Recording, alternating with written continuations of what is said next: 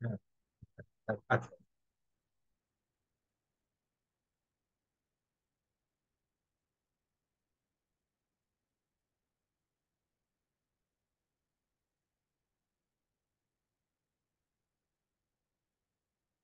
আম,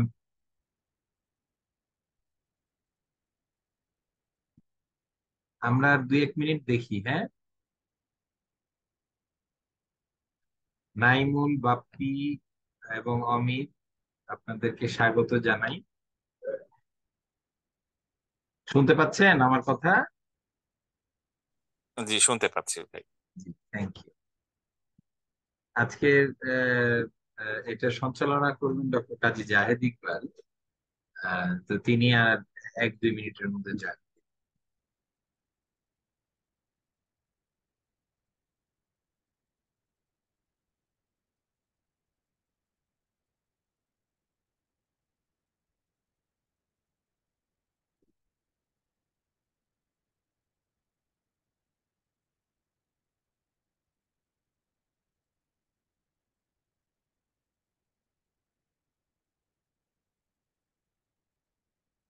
বাপ্পি শুনতে পাচ্ছেন? অডিও কি ঠিক আছে?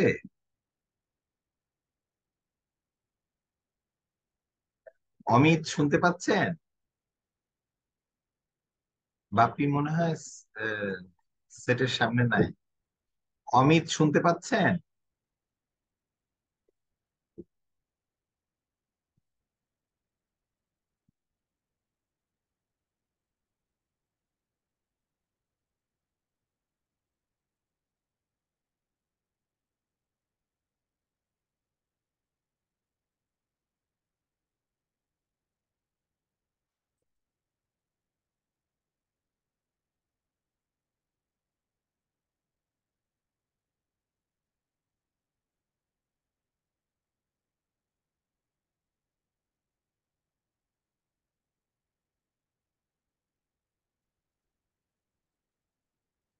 জি ভাই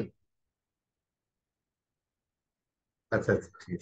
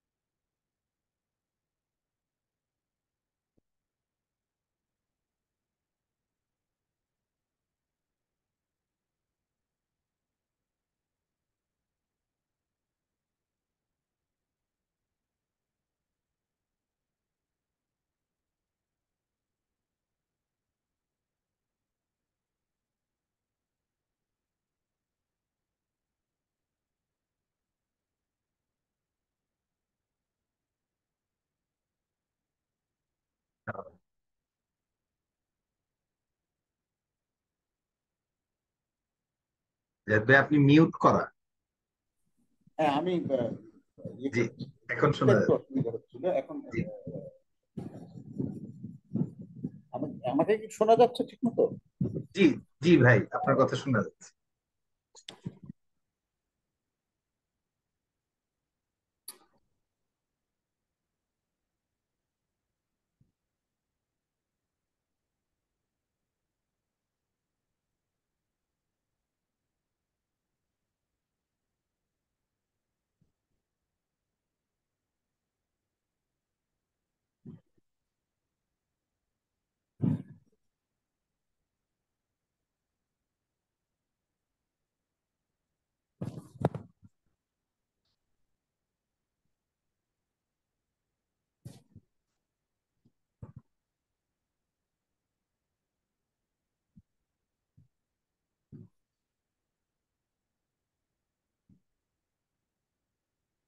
জি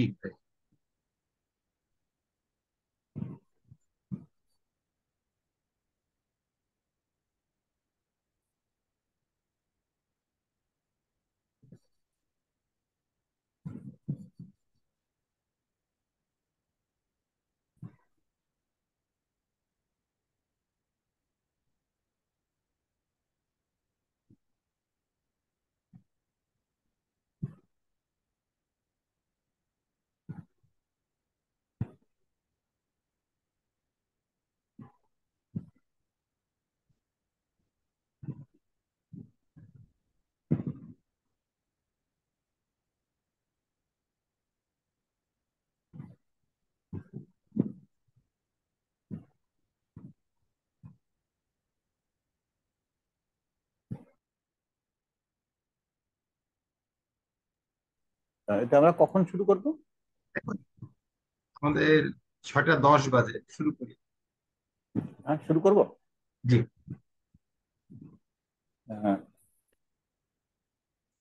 সুধী যারা আজকে এই পাঠচক্রে অংশ নিচ্ছেন আমরা তাদের সবাইকে স্বাগত জানাচ্ছি। আজকে আমাদের বাংলার পাঠশালা পরিচালিত তফাজ্জল হোসেন মানিক মিয়া চক্রের চতুর্থ ক্লাস হতে যাচ্ছে এবং আজকে যে ক্লাসটি হবে সেটি তে ক্লাস নেবেন Ahmed Javed Chowdhury popularly known as Rony ভাই। আমরা রনি ভাইয়ের যদি একটা ছোট্ট ইন্ট্রোডাকশন দেই সেটা এইরকম হয় যে উনি অত্যন্ত গুণী মানুষ একজন খুব বড় সংগঠক, কোনো সন্দেহ নেই। তবে ফর্মালি বললে আমরা এইভাবে বলব যে উনি বাংলার পাঠশালার পরিচালক। এটি তার অন্যতম বড় পরিচয় এবং একই সঙ্গে তার নেতৃত্বে বাংলার পাঠশালা, লন্ডন স্কুল অফ ইকোনমিক্স এর সাথে যৌথভাবে একটা সেমিনার এবং আয়োজন এবং গবেষণার সুযোগ পেয়েছে বা গবেষণায় রত রয়েছে।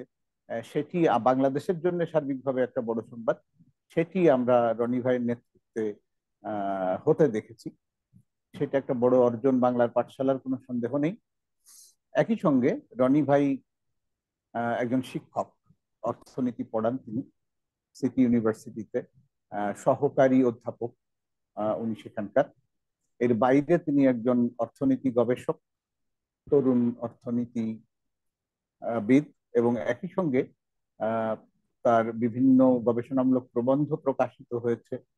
একটা বই সম্পাদনা করেছেন বাংলাদেশের সংবিধানের উপরে এবং সেইখানে বাংলাদেশের যারা সংবিধান প্রণয়নের সঙ্গে সম্পৃক্ত ছিলেন এবং বাংলাদেশের সংবিধান বিষয়ক গবেষণার মূল যারা ব্যক্তি, ব্যক্তিবর্গ, তারা প্রায় সবাই এই গ্রন্থে প্রবন্ধ লিখেছেন।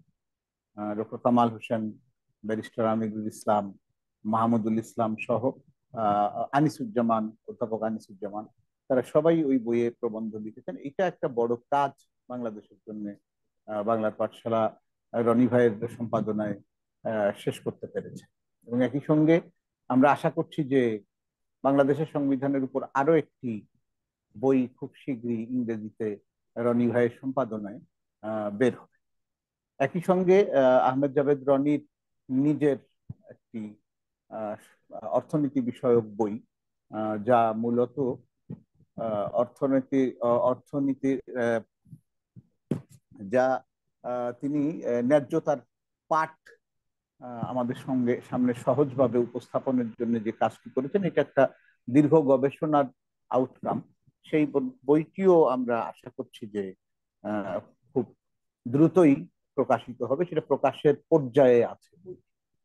তো সব মিলিয়ে এই আমরা রনি ভাই সম্পর্কে বলতে পারি, এটা আসলে রনি ভাই আসলে যতখানি উচ্চতায় অবস্থান করেন জ্ঞানগত জায়গা থেকে, এটা তার পুরাটা বলা হলো না বটে। তবে একটা রূপরেখা দেওয়ার চেষ্টা করলাম আজকে।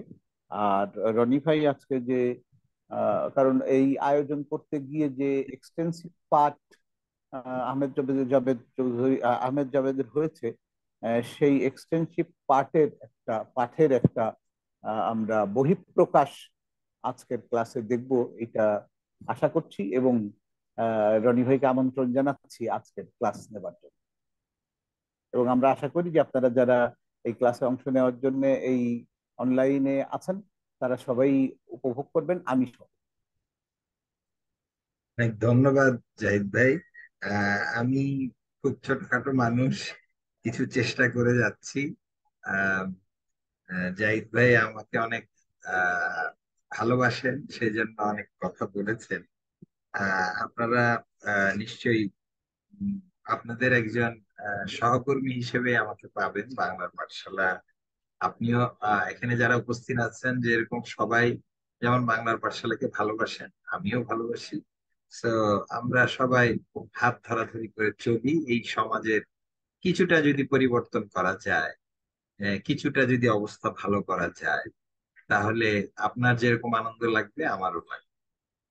তো আজকে আম, আসলে যেটা হয়েছে যে আমার অভিজ্ঞতা থেকে আমি একটু শুরু করতে চাই। যে কথাটা হচ্ছে এই যে আমার বাংলার পাঠশালা থেকে ওই অমর্ত্য সেন পাঠচক্র হয়েছিল। দেখা যাচ্ছে আমি একটা স্লাইড শেয়ার করছি। দেখা যাচ্ছে?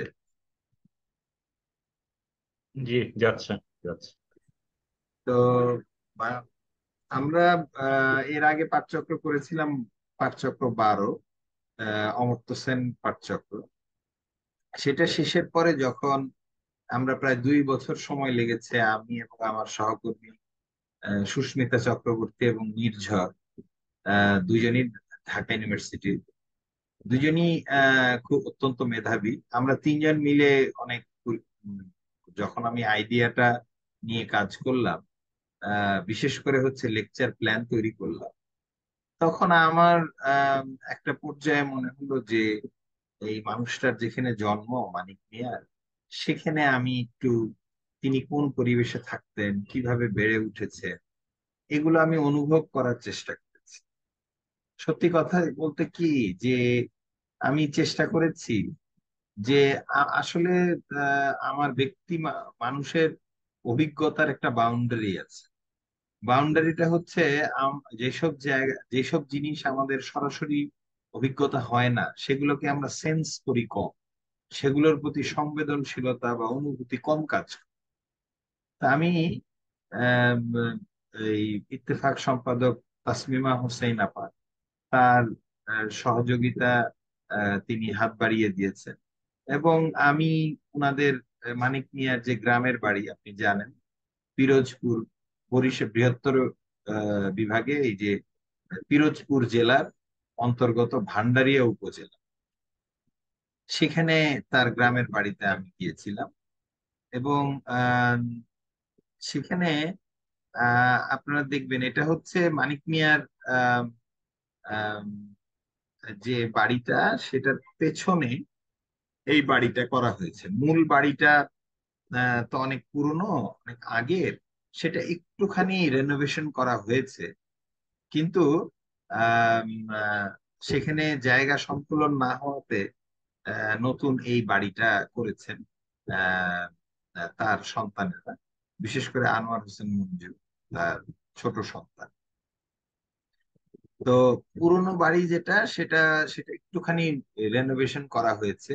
তো পুরনো বাড়ি আমার পাশে যিনি আছেন একজন উনাদেরই ওই এলাকার স্থানীয় আত্মীয় তিনি এবং এইটা হচ্ছে মানিক মিয়া।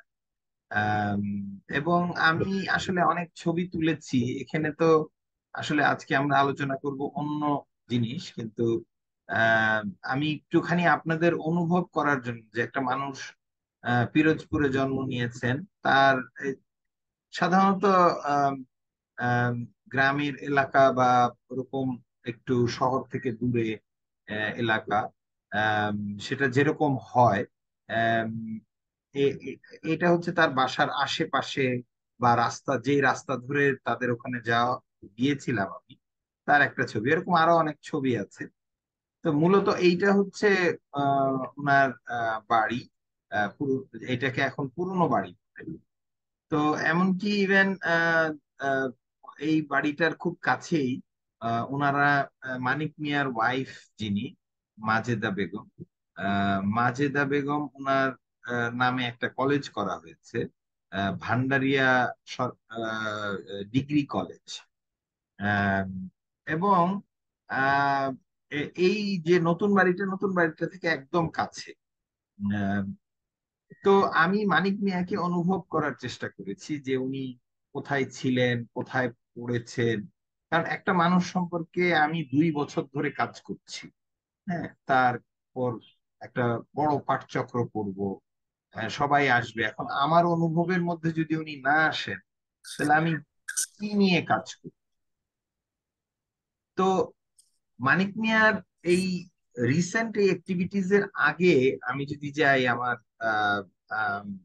প্রয়াত পিতা, যিনি দু হাজার সাতে পরলোক গমন করেন আমার পিতার কাছ থেকে প্রথম আমি মানিক মিয়ার কথা শুনি। বিশেষত আমাদের বাসায় তখন ইত্তেফাক পত্রিকাটা রাখা হতো।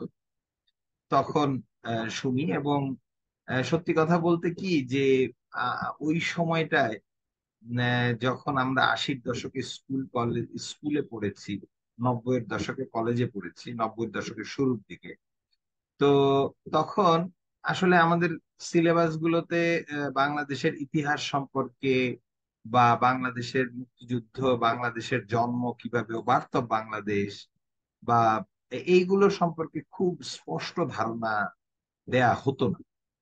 ফলে আমার যেটা হয়েছে যে আমি এই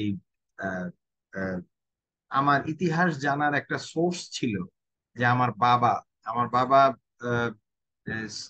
অফিস থেকে আসার পরে আমরা স্কুলের পড়া শেষ করে ঘুমাতে যাওয়ার আগে কিংবা ছুটির দিনে আমার আব্বা গল্প করতেন আমাদের সাথে হ্যাঁ যে কি কি হয়েছে। তো আমি খুবই অবাক হতাম এবং খুবই ইয়ে লাগতো যে, খারাপ লাগতো যে, এই সত্য ঘটনাগুলো বইতে কেন লেখা নেই? তো সেটা তো আপনারা জানেন যে, সেটা একটা অন্য চ্যাপ্টার অন্য দিক। তো ইতিহাস জানার যে একটা আকাঙ্ক্ষা, সেইটার বীজ বপন করেছিলেন আমার বাবা। কারণ ওই সময় আশির দশক এবং নব্বই দশকের শুরুর দিকে আপনারা দেখবেন যে তখন বঙ্গবন্ধুর নাম, তাজউদ্দিনের, তাজউদ্দিন আহমেদের নাম, আমাদের চান নেতার নাম বা মুক্তিযুদ্ধতে যারা শহীদ হয়েছেন এরকম যারা ইতিহাসে বড় ধরনের অবদান আছে বড় ধরনের আত্মত্যাগ আছে, তাদের কথা খুব বেশি, মুক্তিযুদ্ধের কথা খুব বেশি আসতো না। অন্তত স্কুল লেভেলে আমরা যারা ছিলাম, তারা। ফলে যেটা হয়েছিল যে আমাদের অতীত ইতিহাসটা চর্চা না হওয়ার কারণে সেটা সুদূর অতীত এবং সুদূর, অথচ কিন্তু ওই আশির দশক থেকে কিন্তু মুক্তিযুদ্ধ খুব বেশি, মাত্র বিশ বছরের ডিফারেন্স ছিল। কিন্তু দুই দশকের ডিফারেন্স কিন্তু অনেক সুদূর অতীত মনে হতো কারণ হচ্ছে এই চর্চাগুলোর পরিসরটাকে সংক্ষিপ্ত করে ফেলা হয়েছে। তো যাই হোক, তো আমি অন্যদিকে যাব না, আজকে আমি মানিক মিয়ার উপরেই থাকব। তো এরকম একটা আমার, আমি যতই মানিক মিয়া সম্পর্কে জেনেছি, ততই আমার উৎসাহ লেগেছে এবং আমার ভালো লেগেছে যে এবং আমি কিন্তু দীর্ঘ সময় নিয়েছি আমি এটা অনুভব করতে তারপরে উনার লেখা পড়েছি লেখা পড়ে আমাকে আকৃষ্ট মানে মানিক মিয়া নানান দিক থেকে আমার আম, চিন্তা ভাবনা এবং এই যে এত পরিশ্রম করলাম আমার অ্যাপার্ট ফ্রম মাই একাডেমিক এবং আমার প্রফেশনাল কাজের বাইরে। এই এই উৎসাহটা কিন্তু মানিক মিয়া যে লেখা মানিক মিয়ার যে কাজ সেটা একটা অনুপ্রেরণা হিসেবে আমার মধ্যে কাজ করেছে। যার ধারাবাহিক ধারাবাহিকতাতে আজকে এই যে চোদ্দটা লেকচার সিরিজের একটা পাঠচক্র আপনারা দেখছেন। তো আজকে আমি মূলত ঠিক ওইভাবে, আমি তো আর ওরকম জ্ঞানী মানুষ নই যে বড় একটা বক্তৃতা দিয়ে ফেলব। তবে আমি বলতে পারি যে, আমি দুই বছর যেহেতু এই মানিক মিয়ার লেখা এবং মানিক মিয়ার এই বিষয়গুলোর সঙ্গে ছিলাম সুতরাং আমার অনুভূতিগুলো আমি আপনাদের সঙ্গে একটু সহভাগ করতে চাই। তো আম, প্রথমেই যে জিনিসটা আমার কাছে আমি আপনাদের কাছে তুলে ধরবো সেটা হচ্ছে আপনারা জানেন যে মানিক মিয়া রাওয়ালপিন্ডিতে পাকিস্তানের রাওয়ালপিন্ডিতে গিয়েছিলেন উনসত্তর সালে তো উনসত্তর সালের জুন মাসে শেষের দিকে এরকম খবর এলো যে এই মানিক মিয়া হঠাৎ হৃদযন্ত্রের ক্রিয়া বন্ধ হয়ে তিনি রাওয়ালপিন্ডিতে তিনি পাকিস্তানে মানে পশ্চিম পাকিস্তানে তিনি এন্তেকাল করেছেন। এই জিনিসটা বঙ্গবন্ধুর কাছে খুব শকিং নিউজ হিসেবে এসছে। এবং এইটা তিনি একটা আমরা এখন যেটা করি যে কোনো গুণী মানুষ বা বড় ব্যক্তিত্ব মারা গেলে যেরকম অবিচুয়ারি লেখে হ্যাঁ? অবিচুয়ারি কে বাংলায় বলা যায় হচ্ছে স্মরণ, তাকে স্মরণ করে তার তার বিয়োগ, বিয়োগকে স্মরণ করে, তার অবদানকে স্মরণ করে যে লেখা লেখা হয়, এটাকে অবিচুয়ারি বলে। তো উনি একটা অবিচুয়ারি লেখেন বাংলায়।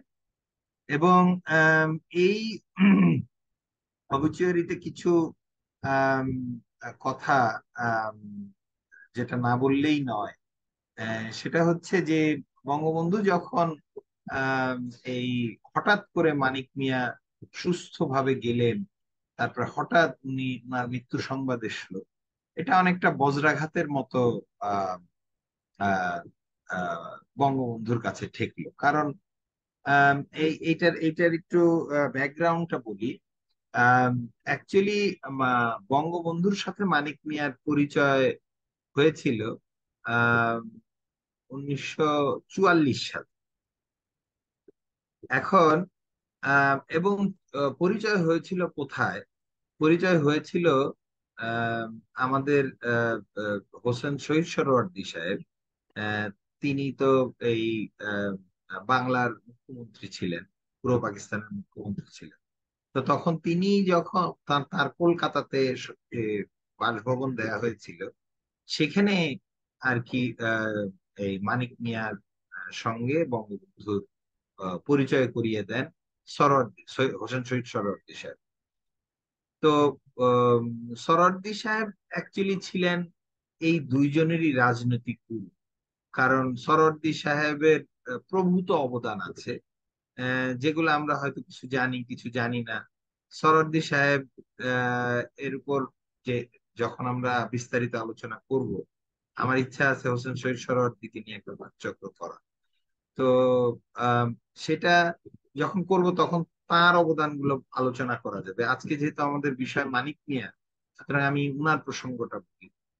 এবং ওই চুয়াল্লিশ সালে পরিচয় হলো।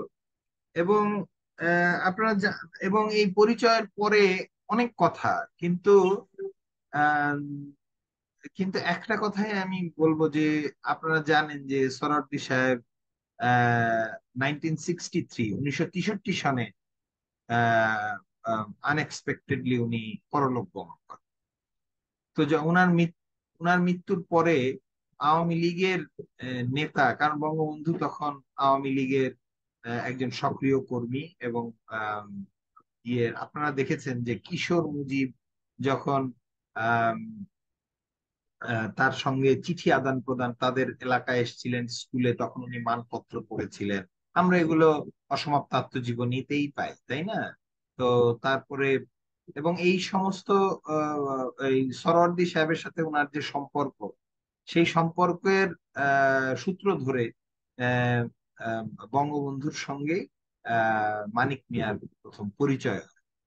তারপর তাদের চিন্তা ভাবনা এবং আমি একটা কথাই বলি যে তখন রাজনীতি হতো সত্যের উপর কারণ তারা সত্যকে যে ফ্যাক্ট যেগুলো যেগুলো ঘটছে, যে অন্যায়, অবিচার, যে সমাজের মধ্যে নানান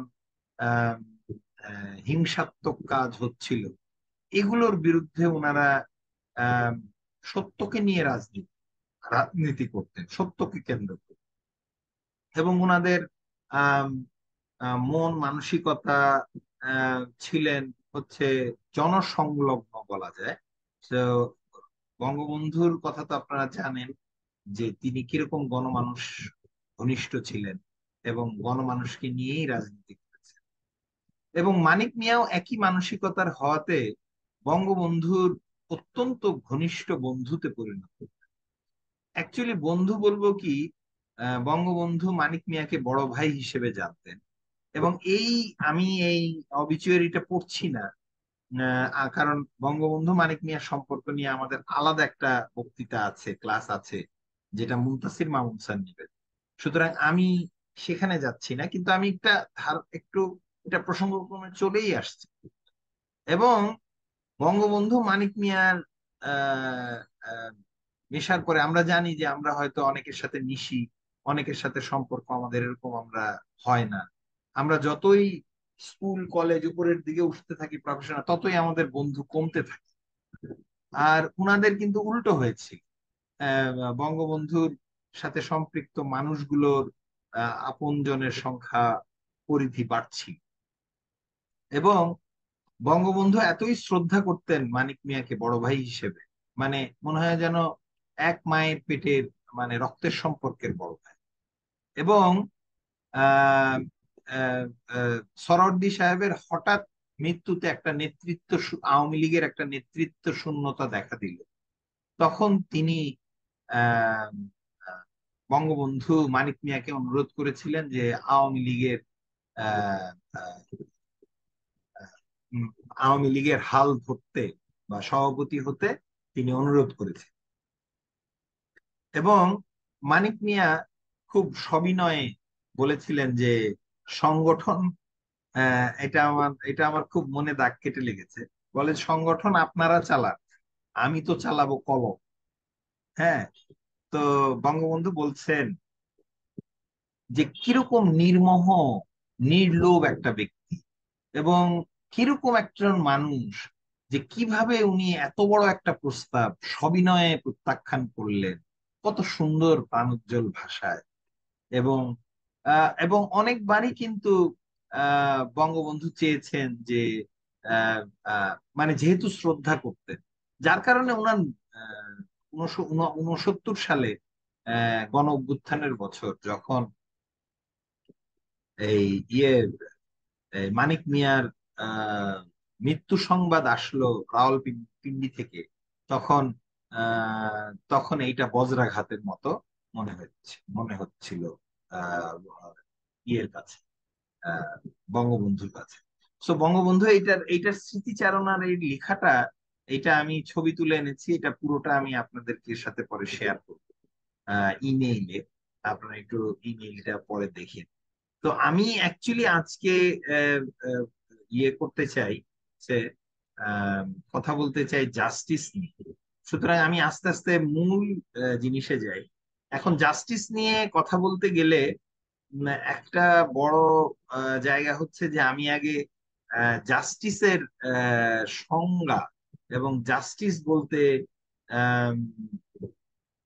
কি বোঝায় সেটা আমি একটুখানি বলতে হবে। না হলে আমাদের আলোচনাটা মানে ঠিক এটা কি দেখা যাচ্ছে নাকি আমি ইয়ে করব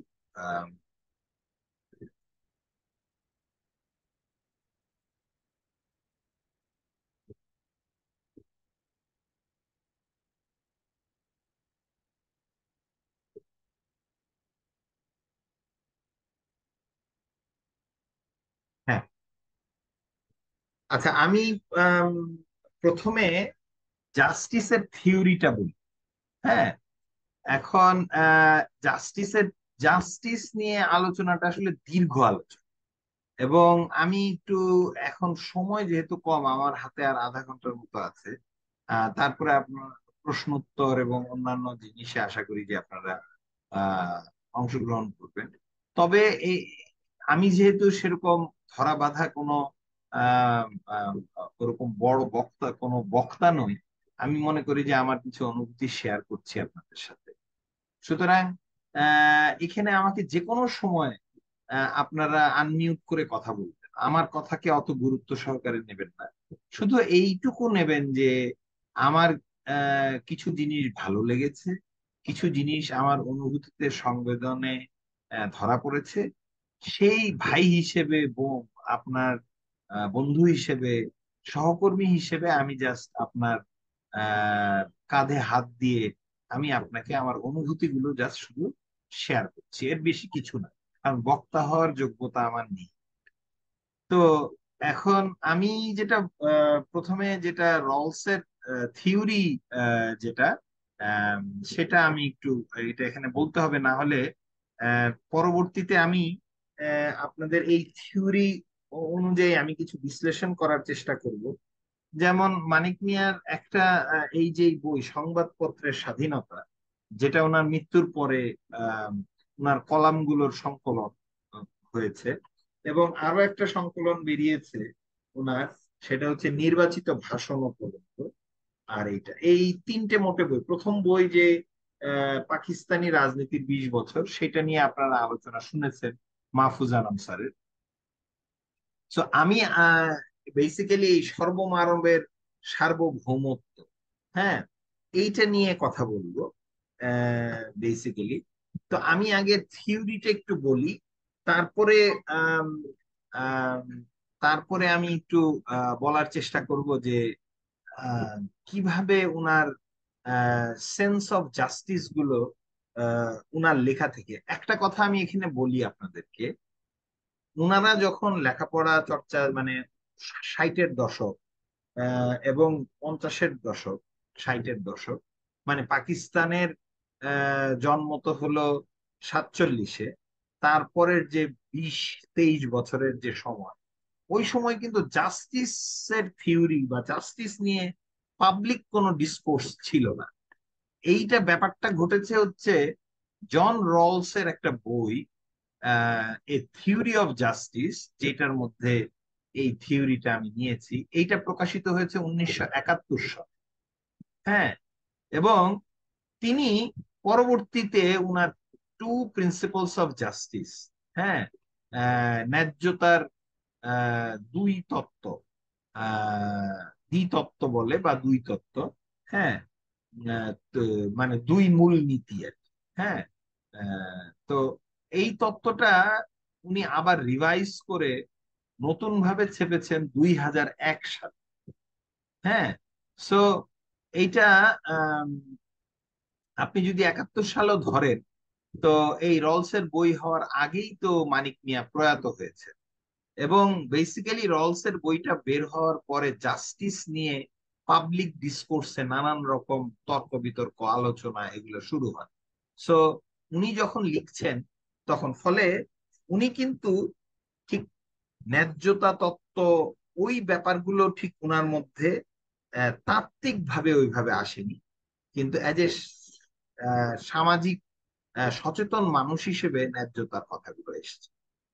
আচ্ছা এখন আমি বলি, আমি একটা কথা যে আমি, আহ, তোফাজ্জল হোসেন মানিক মিয়াকে আমি এক লাইনে আগে বলিনি আমার কাছে তোফাজ্জল হোসেন মানিক মিয়া হচ্ছেন একজন সোশ্যাল ক্রিটিক হ্যাঁ কেন সেই ব্যাখ্যা আমি থিওরি এবং ওনার লেখা থেকে যখন পরতে পরতে বলব, তখন আপনারা আশা করি অনুভব করতে পারবেন যে উনি কেমন ধরনের সোশ্যাল ক্রিটিক ছিলেন। বাই দ্য ওয়ে একটা কথা বলি, আমার আরেকজন প্রিয় লেখক এবং বিপ্লবী যিনি কার্ল মার্কস আপনারা জানেন যে বাংলার পাঠশালার অনেক প্রোগ্রাম আমরা কার্ল মার্কসকে নিয়ে করেছি মার্কসের পুঁজিকে নিয়ে করেছি, আমি লেখা লিখেছি। তো কার্ল মার্কস কার্ল মার্কসকে একবার বলা হয়েছিল যে আপনাকে কেউ দার্শনিক বলে, আপনাকে কেউ ইকোনমিস্ট বলে, আপনাকে কেউ রেভলিউশনারি বলে, আপনার কাছে আপনি কি? তখন উনি বলেছিলেন ফর মি মানে মার্কস বলছেন I am a social critic হ্যাঁ এখন সোশ্যাল ক্রিটিক মানে হচ্ছে সামাজিক মানে বাংলা অর্থ করলে এটা কেমন হয়? সামাজিক বা সমাজ জীবনের বা সমাজের সমালোচক। মানে ঠিক এটা সোশ্যাল ক্রিটিক বলে এই বাংলা অনুবাদটা মনে হয় আরেকটু বেটার করা যায়। হ্যাঁ সমাজ বিশ্লেষক হ্যাঁ সমাজ বিশ্লেষক বলা যায়। কিন্তু ক্রিটিকের আবার আরও কিছু ব্যাপার আছে। হ্যাঁ তো যাই হোক তো তো আমি যদি ভাইয়ের কথাটাই নেই ইমরান ভাইয়ের কথাটা যে সমাজ বিশ্লেষক তো বেসিক্যালি উনি একজন আহ, আহ, মানিক মিয়া ছিলেন একজন অনেকটা আহ, সমাজ বিশ্লেষক বা সোশ্যাল ক্রিটিক তো আমি আমি সেইতে যাওয়ার আগে আমি থিওরিটা একটু বলি। থিওরিটা হচ্ছে যে আমি ইংরেজি, এখন এইগুলোর বাংলা বাংলা ভাষায় ন্যায্যতার কোনো সেরকম বড় কোনো বই বা কোনো আলোচনা খুব বেশি আপনাদের চোখে পড়বে না। সুতরাং আমি আমার যে বইটা বের হচ্ছে ন্যায্যতার ধারণা পাঠক সমাবেশ থেকে যেটার কথা জাহিদ ভাই বললেন, সেটা সেটা বের হলে সেটা বাংলা ভাষায় ন্যায্যতার আলোচনাকে আরেকটু প্রসারিত করবে বলে আমার বিশ্বাস। তো যেহেতু আমি এইটা ইংরেজি থেকে নিয়েছি, আমি কোটেশনটা ইংরেজিতে, আমি বাংলায় বলব। প্রথমে ইংরেজিতে বলি। In the opening chapter of a theory of justice by John Rawls Rawls pose A breakthrough in the history of thoughts. He writes, quote, Justice is the first virtue of social institutions, as truth is the system of th- systems of thought. এখন আমি বলতে চাচ্ছি এটা আমি নিয়েছি রলসের theory of justice বইয়ের the role of justice chapter one justice as fairness এই বই যেটা পৃষ্ঠা নাম্বার তিনে আছে, ঠিক আছে? তো এই বই থেকে আমি উনার এই কোটেশনটা নিয়েছি। এখন এইটার অর্থটা কি? বাংলায় যদি আমি বলার চেষ্টা করি, যে প্রথম সদ্গুণ হচ্ছে হচ্ছে জাস্টিস হচ্ছে প্রথম সদ্গুণ ভার্চু প্রথম সদ্গুণ হ্যাঁ। কার কার সোশ্যাল ইনস্টিটিউশন যত, একটা রাষ্ট্রের মধ্যে, একটা গণতান্ত্রিক রাষ্ট্রের মধ্যে যত প্রতিষ্ঠান থাকে, সব প্রতিষ্ঠানের সবচেয়ে বড় সদ, সদ্গুণ কি হবে? ন্যায্যতা।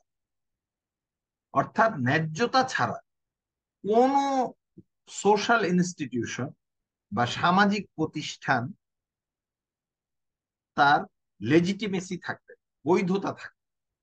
ঠিক আছে? সে দাঁড়াতেই পারে। এটা হচ্ছে এক নম্বর।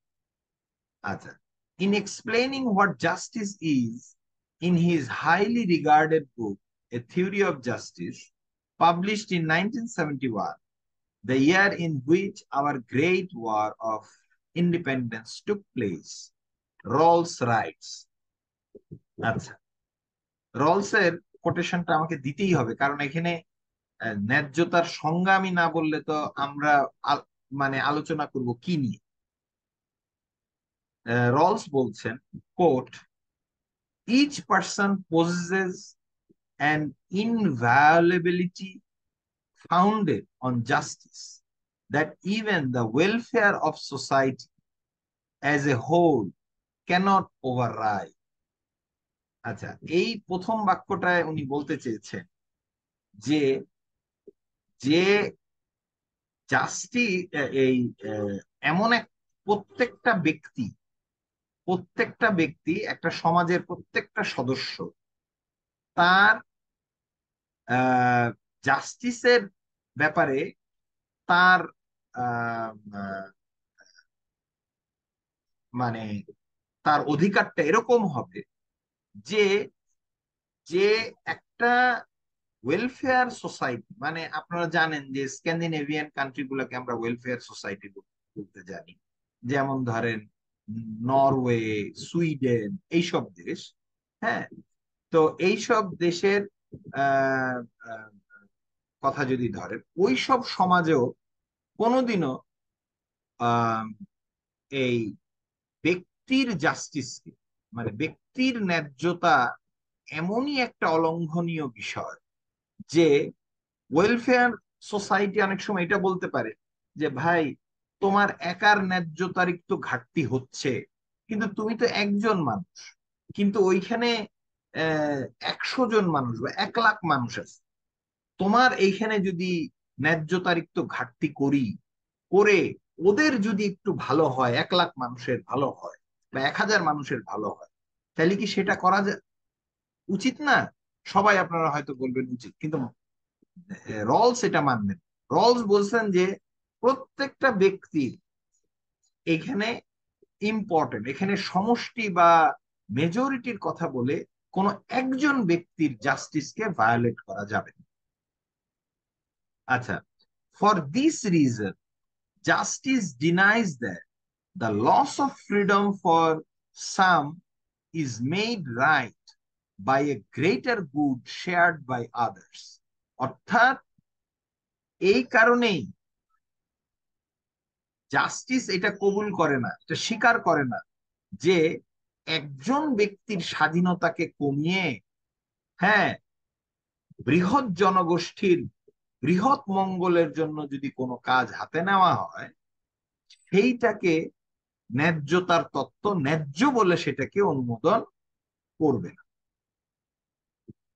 It does not allow that the sacrifices imposed on a few are overweighted by the larger sum of adva, advantages enjoyed by many অর্থাৎ, এবং এটা, এটাও কবুল করে না, এটাও অ্যালাউ করে না যে আপনি বললেন অল্প কিছু মানুষকে বা কোনো একটা ব্যক্তিকে, অল্প কিছু মানুষকে বলল যে, বাবারে, তোমরা এটা স্যাক্রিফাইস করো। মানে আপনি তাদের উপর স্যাক্রিফাইসটা চাপিয়ে দিলেন। চাপিয়ে দিয়ে বললেন যে, বৃহৎ জনগোষ্ঠীর, বৃহত্তর স্বার্থে এইটাকে আপনারা এই আত্মত্যাগ বা এই এই স্বার্থটা বা এই অধিকারটা ছেড়ে দিতে হবে। এইটা জাস্টিসের যে তত্ত্ব বা জাস্টিসের যে সেন্স সেন্স অফ জাস্টিস সেটাকে অ্যালাউ করেন অর্থাৎ মেজরিটি ভার্সাস মাইনরিটি হ্যাঁ আপনি রিসোর্স অ্যালোকেশনের ক্ষেত্রে আপনি এটা করতে পারবেন। Therefore, in a just society, the liberties of equal citizenship are taken settled অর্থাৎ, আপনি, আমি রাষ্ট্রের নাগরিক হিসেবে যে সমান হ্যাঁ এই সমানটা কোথা, কোন দিক দিয়ে সমান? কারণ আপনার, আমার সকলের স্বাধীনতা সমান, লিবার্টি সমান। যেমন ইমরান ভাই আছেন, নাইমুল হক, এই যে রেজাউল করিম আছেন, এখানে যারা যারা উপস্থিত আছেন, সকলের স্বাধীন সমান। কারও বেশিও না, কমও না। হোক তিনি প্রধানমন্ত্রী, হোক তিনি মন্ত্রী, হোক তিনি যে কোনো সামাজিক, আর্থিক অবস্থানের মানুষ, কিন্তু তার স্বাধীনতা, সকলের স্বাধীনতা সমান।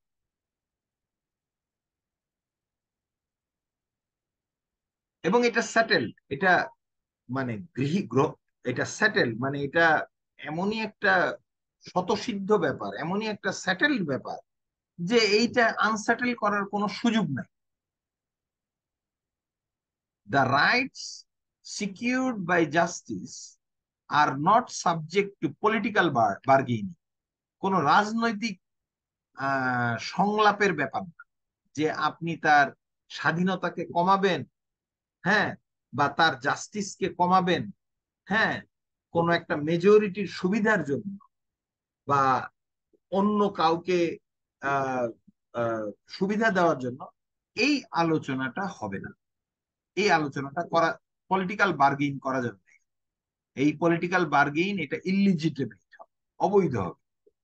Or to calculus of social interest social ইন্টারেস্টের দোহাই দিয়া মানে অর্থাৎ সোশ্যাল সামাজিক বৃহত্তর স্বার্থ বা এরকম পলিটিক্যাল বার্গেনিং কোনো কিছুতেই এই, এইটাকে ট্রেড অফ করা যাবে না। লিবার্টি বা জাস্টিসকে কমানো যাবে the only thing that permits us to uh, acquiescence in a erroneous theory is the lack of a better one যদি প্র্যাকটিক্যাল কথা বলেন যে এরকম সোসাইটি তো বাস্তবে কি আছে তো এবং যদি বলেন যে বাস্তবে যেহেতু নাই বাস্তবে অন্যরকম করব তা না আপনাকে মানে বেটারটা ল্যাক আছে এরকম নাই। তাই বলে আপনি মানে এরকম আইডিয়াল সিচুয়েশন এক্সিস্ট করে না বাস্তবে। এই দোহাই দিয়েও আপনি কাউকে ইয়ে করতে পারবেন না। আপনার মেজরিটি ডিসিশন চাপায় দিতে পারবেন Analogously, and justice is tolerable only when it is necessary to avoid an even greater injustice. মানে অন্যায্যতা আসছে অন্যায্যতা আসছে এবং আরও বড় অন্যায্যতা কথার কথা যে ইউক্রেন যুদ্ধ কি কতটুকু অন্যায্য আর ইসরায়েল ফিলিস্তিনির যে ধ্বংসযজ্ঞ, যুদ্ধ, যাই বলি না কেন, যেটা চলছে সেটা বড়। সুতরাং একটা বড়টার জন্য ছোটটা মেনে নিব, এরকম এরকম হবে না। হ্যাঁ? এটা করা যাবে being the first virtues of human activities truth and justice are uncompromising সত্য এবং ন্যায্যতা হচ্ছে কোন এটার সঙ্গে আপোষ চলবে হ্যাঁ? এইটা আছে হচ্ছে তিন থেকে চার নাম্বার পেজে ওই একই বই। হম? আচ্ছা আমি এখন এই জাস্টিসের এই সেন্সটা দেওয়ার পরে আমি এখন এই টু প্রিন্সিপালস অফ জাস্টিসে চলে যাব। তো এইটার কথাটা হচ্ছে উনি এরপরে টু প্রিন্সিপালস অফ জাস্টিস বলেছেন। In his revised edition of justice as fairness a restatement John Rawls elaborated and updated his two principles of justice. He contended that তিনি জোর দিয়ে বলেন that these two principles which sprout from the original position must be the foundation of justice if we perceive justice as fairness. এখানে Rawls যে জাস্টিসের কথা বলছেন সেটা বলতেছেন ফেয়ারনেসের ফেয়ারনেস মানে সমদর্শিতা। আমি দুই ভাই আছে, একজনকে নিচু চোখে দেখব, আরেকজনকে উঁচু চোখে দেখব। একজনের জন্য দুই ভাই বোন আছে, এক ভাই এক বোন আছে। বোনটাকে অসুস্থ হইলে চিকিৎসা করাইলাম না, তার পিছনে বাজেট অ্যালোকেট করলাম না। আর ছেলেটার পেছনে বেশি প্রেফারেন্স দিলাম যে এই যুক্তিতে যে ও তো পরের বিয়ে দিলে পরের ঘরে চলে যাবে। হ্যাঁ ও তো মাইনাস আর ছেলেটা তো আমাকে কামাই করে খাওয়াবে। এই যে এক ছেলে, এক মেয়ে বা দুই ছেলে বা দুই মেয়ে, যেরকম কম্বিনেশনই হোক, যে এ থাকতে হবে সমদৃষ্টি। কোনো অসমদৃষ্টি করা যাবে না। এবং সমদৃষ্টির ভিত্তিতেই জাস্টিস পসিবল হ্যাঁ? In part two of principles of justice in section 13.1 uh, of the above mentioned book, মানে Justice as Fairness a Restatement, Rawls states that এটা আমি গুছাতে পারিনি আমি ওই ওই ফাইল থেকে দেখাচ্ছি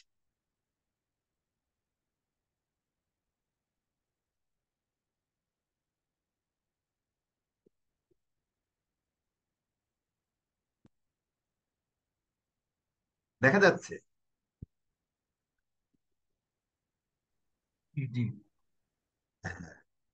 এই যে টু প্রিন্সিপালস অফ জাস্টিস সেটা হচ্ছে এইটা উনি বলছেন এরকম যে to try to answer our question let us turn to a revised statement of true of the two principles of justice discussed in the theory theory হলো থিওরি অফ জাস্টিস মানে a theory of justice they should read now মানে উনি ওই একাত্তর সালে যে বইটা বেরিয়েছিলেন, তারপরে দুই হাজার এক সালে যে বেরিয়েছেন, তো ওই, ওর মধ্যে উনি আবার একটু রিভাইজ করেছে। তত্ত্বটাকে চেঞ্জ করুন মানে আপডেট করেছে। সেটা হচ্ছে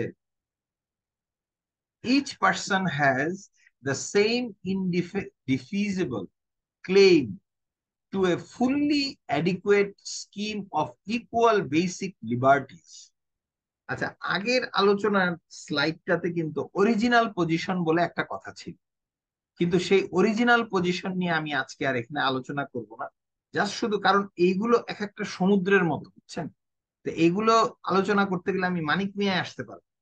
তো অরিজিনাল পজিশনটা মোটামুটি এক লাইনে বললে এরকম যে মানুষ অরিজিনাল পজিশনে এই সোশ্যাল যে ইনস্টিটিউশনগুলো, যার ভার্চু হবে জাস্টিস সেই সোশ্যাল ইনস্টিটিউশনগুলোর রুলস ঠিক করুন গাইডলাইন ঠিক করুন।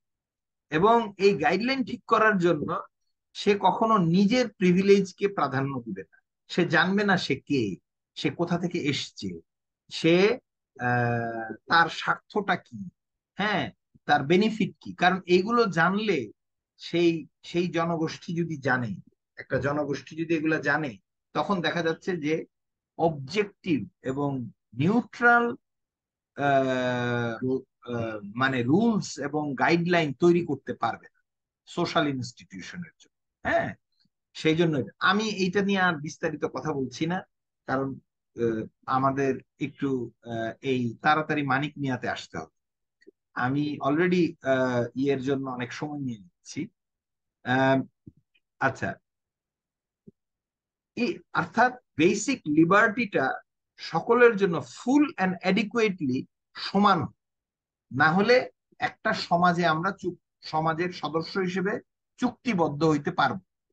এবং মনে রাখতে হবে, এখানে কিন্তু উনি থমাস সিক্সটিন ফিফটিন ইয়াতে সিক্সটিন সেঞ্চুরির যে দার্শনিক থমাস হবস, হবসের যে লেবিয়াথান লেবিয়াথান গ্রন্থে যে জাস্টিসের যে থিওরি এবং সেখানে যে সোশ্যাল কন্ট্রাক্টের কথা উনি প্রথম বলেছেন হবস যেটা পরবর্তীতে আরও ডেভেলপ করেছেন জন লক এবং হচ্ছে জ্যাজাক রুশো এখন এইগুলোতে ঢুকলে আজকে আমি ঢুকছি না, আমি জাস্ট জাস্ট বলে যাচ্ছি।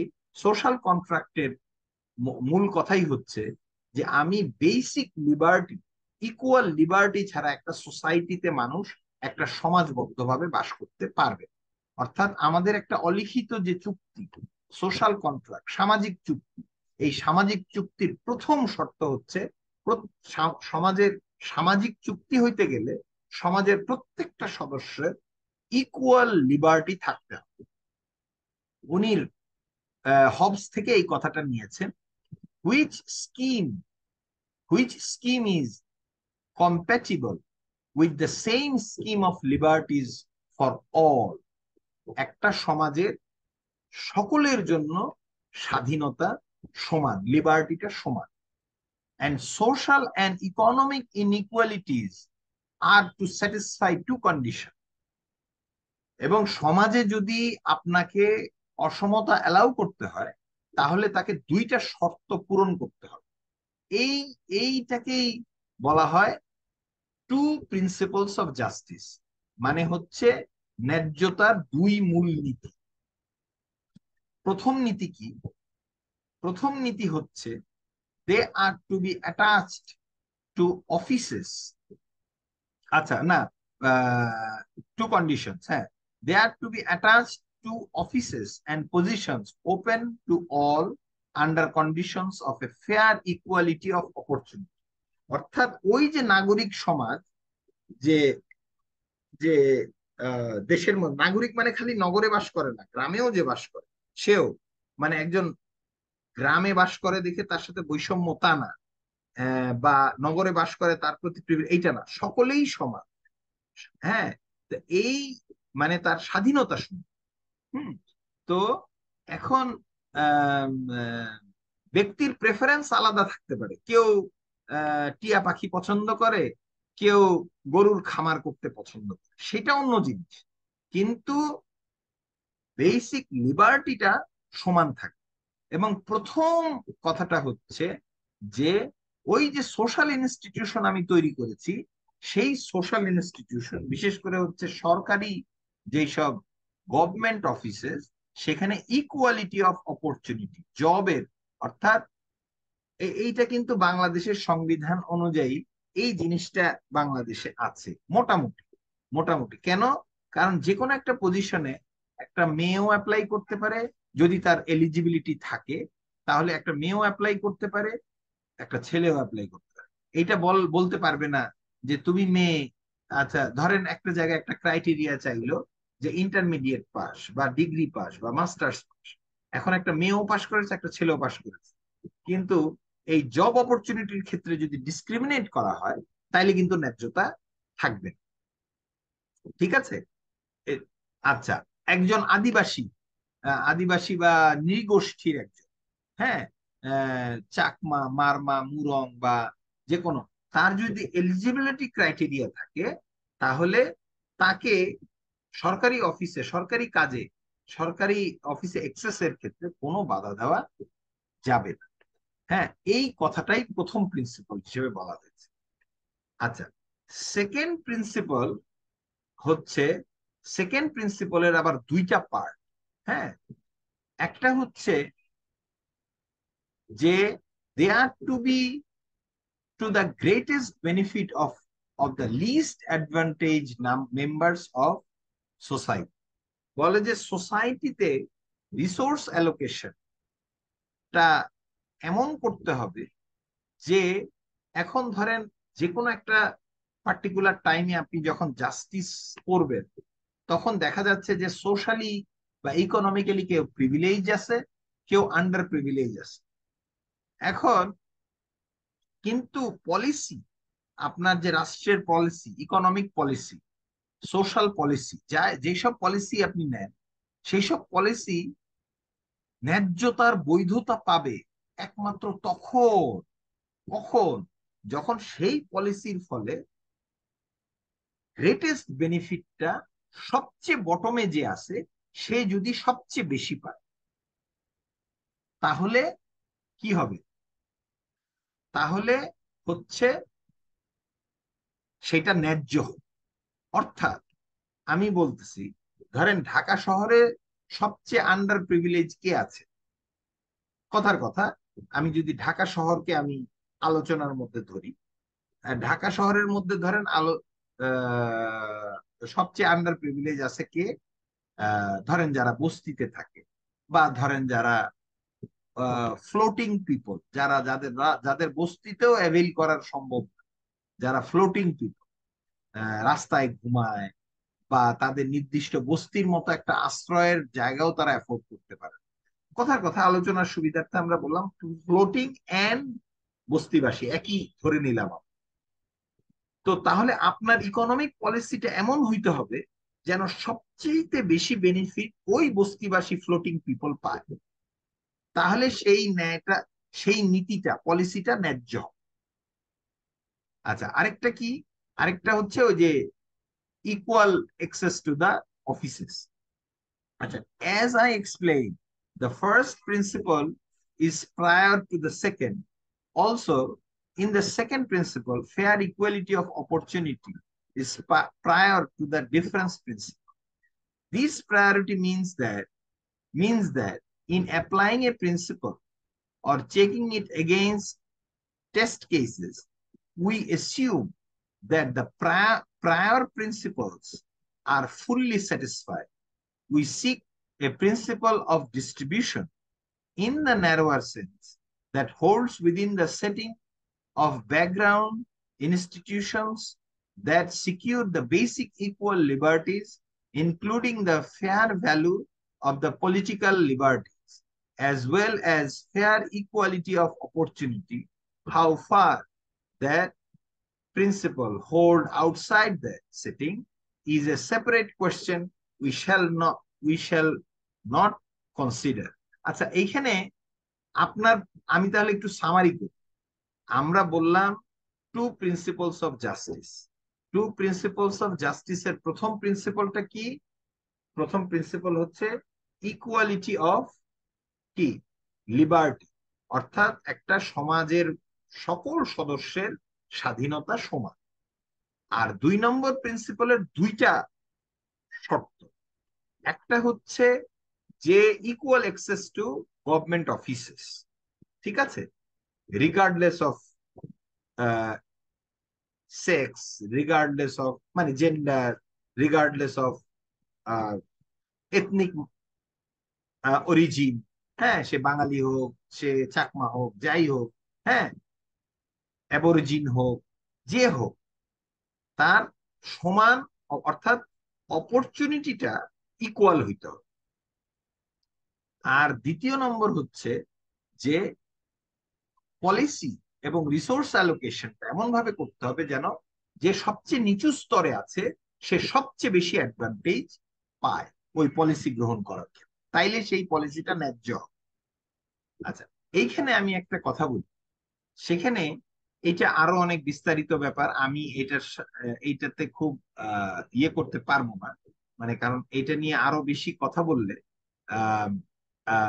মানে আমরা মূল ফোকাস থেকে, মানিক মিয়া থেকে হারিয়ে যাব। আমি এখানে একটা কথা বলি। রলসের এই যে টু প্রিন্সিপালস অফ জাস্টিস এইখানে একটা লেক্সিক্যাল পজিশনিং আছে। লেক্সিক্যাল পজিশনিং আপনারা নিশ্চয়ই জানেন যে লেক্সিক্যাল পজিশনিং হচ্ছে যে ক্লাসে ফার্স্ট বয় মানে ধরেন এমনিতে আমরা আছি এইখানে জুমে এখন আমি গুনলাম। আপনি আমার থেকেও এক, দুই, তিন, চার গুনতে পারেন, অথবা আপনি ওই ইয়েতে, কি বলে কি বলে, আপনি উল্টা দিক থেকেও এক, দুই, তিন, চার গুনতে পারেন। এখানে সংখ্যা কাউন্টটা হইল মূল ব্যাপার হ্যাঁ? কিন্তু কিন্তু লেক্সিক্যাল পজিশনিং এইটা না। লেক্সিক্যাল পজিশন যে ওই পজিশনের দাম, যেমন ক্লাসে কেউ ফার্স্ট হইল রোল এক, আর কেউ ক্লাসে দুই হইল, এই দুইটা জিনিস কিন্তু কখনো এক না। কারণ যে ফার্স্ট বয় সেটার মিনিং আলাদা। ক্লাসে ফার্স্ট হওয়ার সেকেন্ড হওয়ার থার্ড হওয়ার, প্রত্যেকটা পজিশনের ভ্যালুটা আলাদা। হ্যাঁ একতলা তিন তলা আমরা বলি না বিল্ডিং এ সেরকম ওই পজিশন সুতরাং তার ফার্স্ট প্রায়োরিটি হচ্ছে লিবার্টিটা ইকুয়াল থাকতে হবে। হ্যাঁ আমাদের সমাজের ক্রাইসিসটা হচ্ছে, আমাদের সমাজে এক আচ্ছা এই কথাটা বলি। যে প্রিন্সিপ লিবার্টিটা যদি আমার ফার্স্ট প্রায়োরিটি হয়, তাহলে আমার অন্যান্য যে জিনিসগুলা, সেগুলা কিন্তু আমাকে বৈষম্য, ধরেন অন্যান্য জিনিসের মধ্যে একটা বড় জিনিস বৈষম্য লিবার্টি ভার্সাস ডিসপ্যারিটি বৈষম্য। রলস বলছেন, বৈষম্য হয়তো কমাতে সময় লাগবে, বা বৈষম্য আমার এখনই কমাইতে হবে, এটা আমার প্রায়োরিটি আমার প্রায়োরিটি হচ্ছে লিবার্টিটা যেন সব সময় ইকুয়াল থাকে। লিবার্ট এবং এই যে প্রায়োরিটি মানে উনি এক নম্বর প্রায়োরিটি মানে ক্লাসে রোল ওয়ান ওই ওয়ানে দিয়েছেন হচ্ছে লিবার্টি হ্যাঁ equality of liberty of all citizen আর সেকেন্ডের মধ্যে উনি তো আবার দুইটা ভাগ করছেন। সুতরাং আমাদের দেশে যেটা হয়েছিল মুক্তিযুদ্ধ, এই যে স্বাধীনতার জন্য এবং আমাদের দেশে যেটা হয়েছিল যে যারা এই স্বাধীনতার জন্য, স্বাধীনতাকে ফার্স্ট প্রায়োরিটি দিয়ে ইকুয়ালিটি অফ লিবার্টি হ্যাঁ এইটাকে প্রায়োরিটি দিয়ে যারা যুদ্ধ করেছেন এর পরবর্তীতে যখন তারা সমাজের ইনস্টিটিউশন করতে গেছেন তখন এই প্রায়োরিটিটাকে মাথায় রাখেন। তারা বৈষম্য কমাতে গিয়ে লিবার্টিকে কম্প্রোমাইজ করে ফেলছে, যেটা রলসের সাথে মেলে না। অর্থাৎ রলস বলছেন যে বৈষম্য আমাকে সময় ধরে কমাতে হবে। মানে একবারে এই সমস্ত বৈষম্য কমে যাবে তা না। আমাকে ওই যে সমাজে উঁচু উঁচু শ্রেণি, নিচু শ্রেণি আছে, আমাকে পলিসির মধ্যে সব সময় ওই আন্ডার প্রিভিলেজ যে বা নিচে আছে, তাকে বেশি দিয়ে দিয়ে দিয়ে দিয়ে এমন ভাবে করতে হবে, সে যেন ওই সামাজিক যে উঁচু, নিচু ব্যাপার আছে, এই গ্যাপটা যেন পূরণ হয়ে যায়। অর্থাৎ ওনার কথা হচ্ছে যে লিবার্টিকে কম্প্রোমাইজ করা যাবে।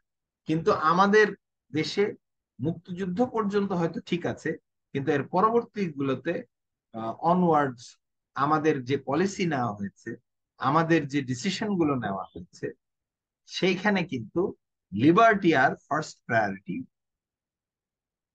পায় নাই। আমাদের আমরা বৈষম্যকে কমাতে গেছি এবং বৈষম্য একবারে কমাতে গিয়ে সিস্টেমেটিক কোনো প্ল্যান না করে একবারে কমাতে গিয়ে উল্টো ফল হয়েছে আমরা লিবার্টিকেও প্রোটেক্ট করতে পারি নাই। আবার কি হয়েছে? যে সকলে, সমাজের মধ্যে আর্থিক এবং সামাজিক বৈষম্য প্রকট ভাবে বেড়ে গেছে। সো এইটুক আমি বললাম। তো আমি থিওরি আর এখন বলছি না। এরপরে আমি মানিক মিয়াতে আসি। মানিক মিয়ার মানুষ সম্পর্কে এগুলো তো সমস্ত কথা তো মানব সমাজের কথা। মানুষ কীভাবে মানব সমাজে কীভাবে ন্যায্যতা আসবে এই আলোচনা। এখন মানুষ বলতে মানিক মিয়া আসলে কি বুঝতেন? কেমন মানুষ? আমি আপনাদেরকে একটা ছোট্ট জিনিস দেখাই আমি, যে উনি যে কনটেক্সটে ইয়ে করেছেন মানে আলোচনাটা করেছেন হ্যাঁ? তো সেই আলোচনার জন্য আমি এই ইয়েটা একটু দেখাই আপনাদেরকে। তাহলে আপনারা এটা জানেন নিশ্চয়ই, কিন্তু জাস্ট একটু আলোচনার সুবিধার্থে আমি এটা ইয়ে করছি।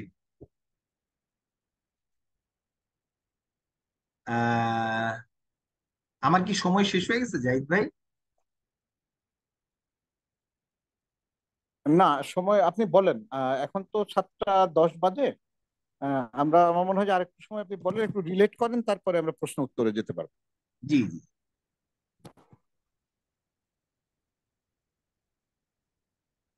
কারণ এখন তো আমাদের আরও কিছু সময় হাতে আছে আমরা আটটা পর্যন্ত। জি জি।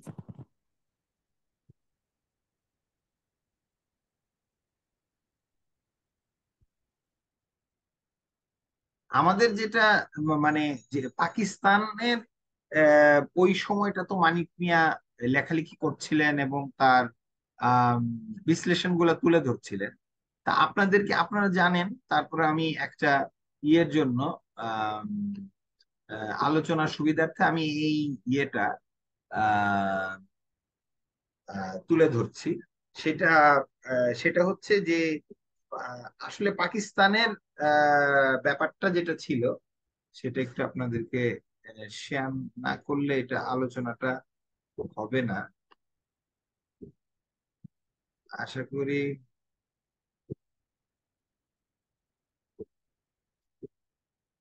আপনারা কি দেখতে পাচ্ছেন?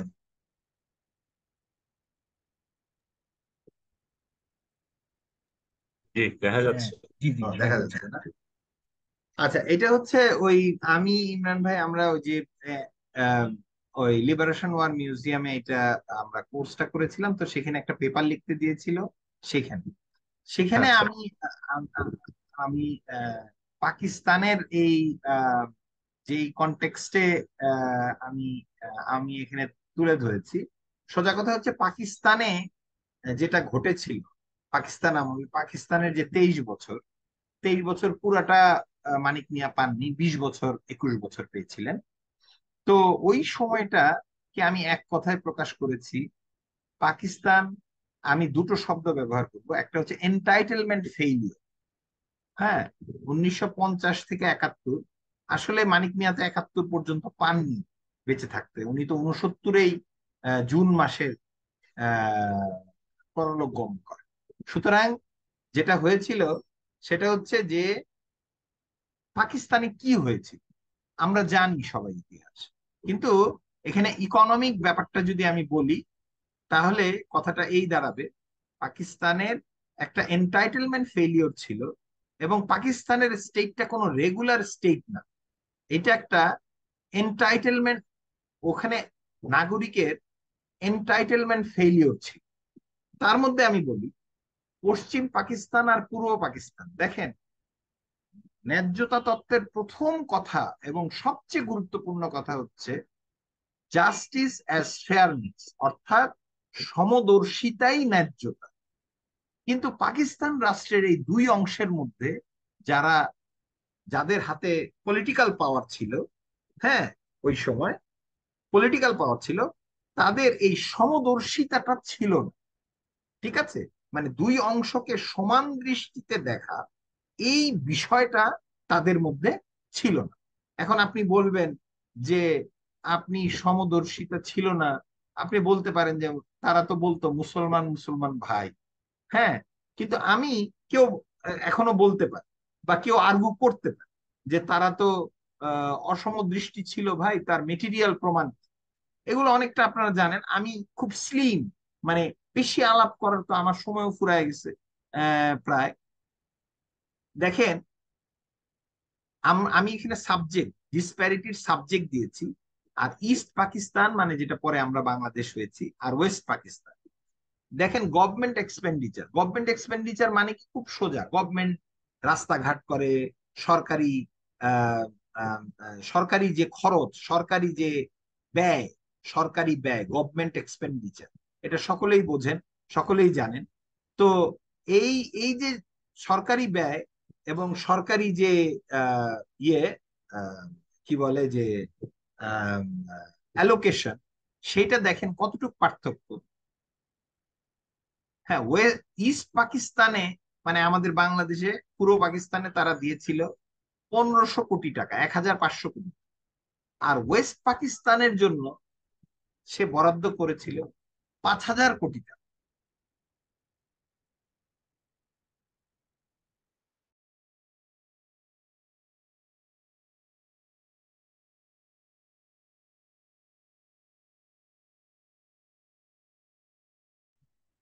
রনি ভাই কি আমাদের শুনতে পাচ্ছেন?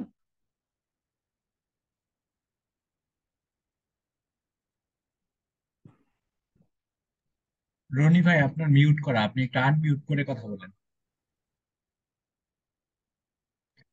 জি বললাম যে আপনার মিউট করা আপনি একটু আনমিউট করে কথা বলেন।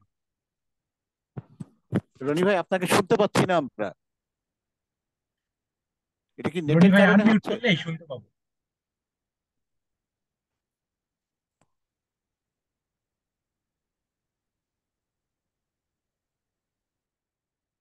রনি ভাই, আপনি আনমিউট করেন, তাই শুনতে পাবো।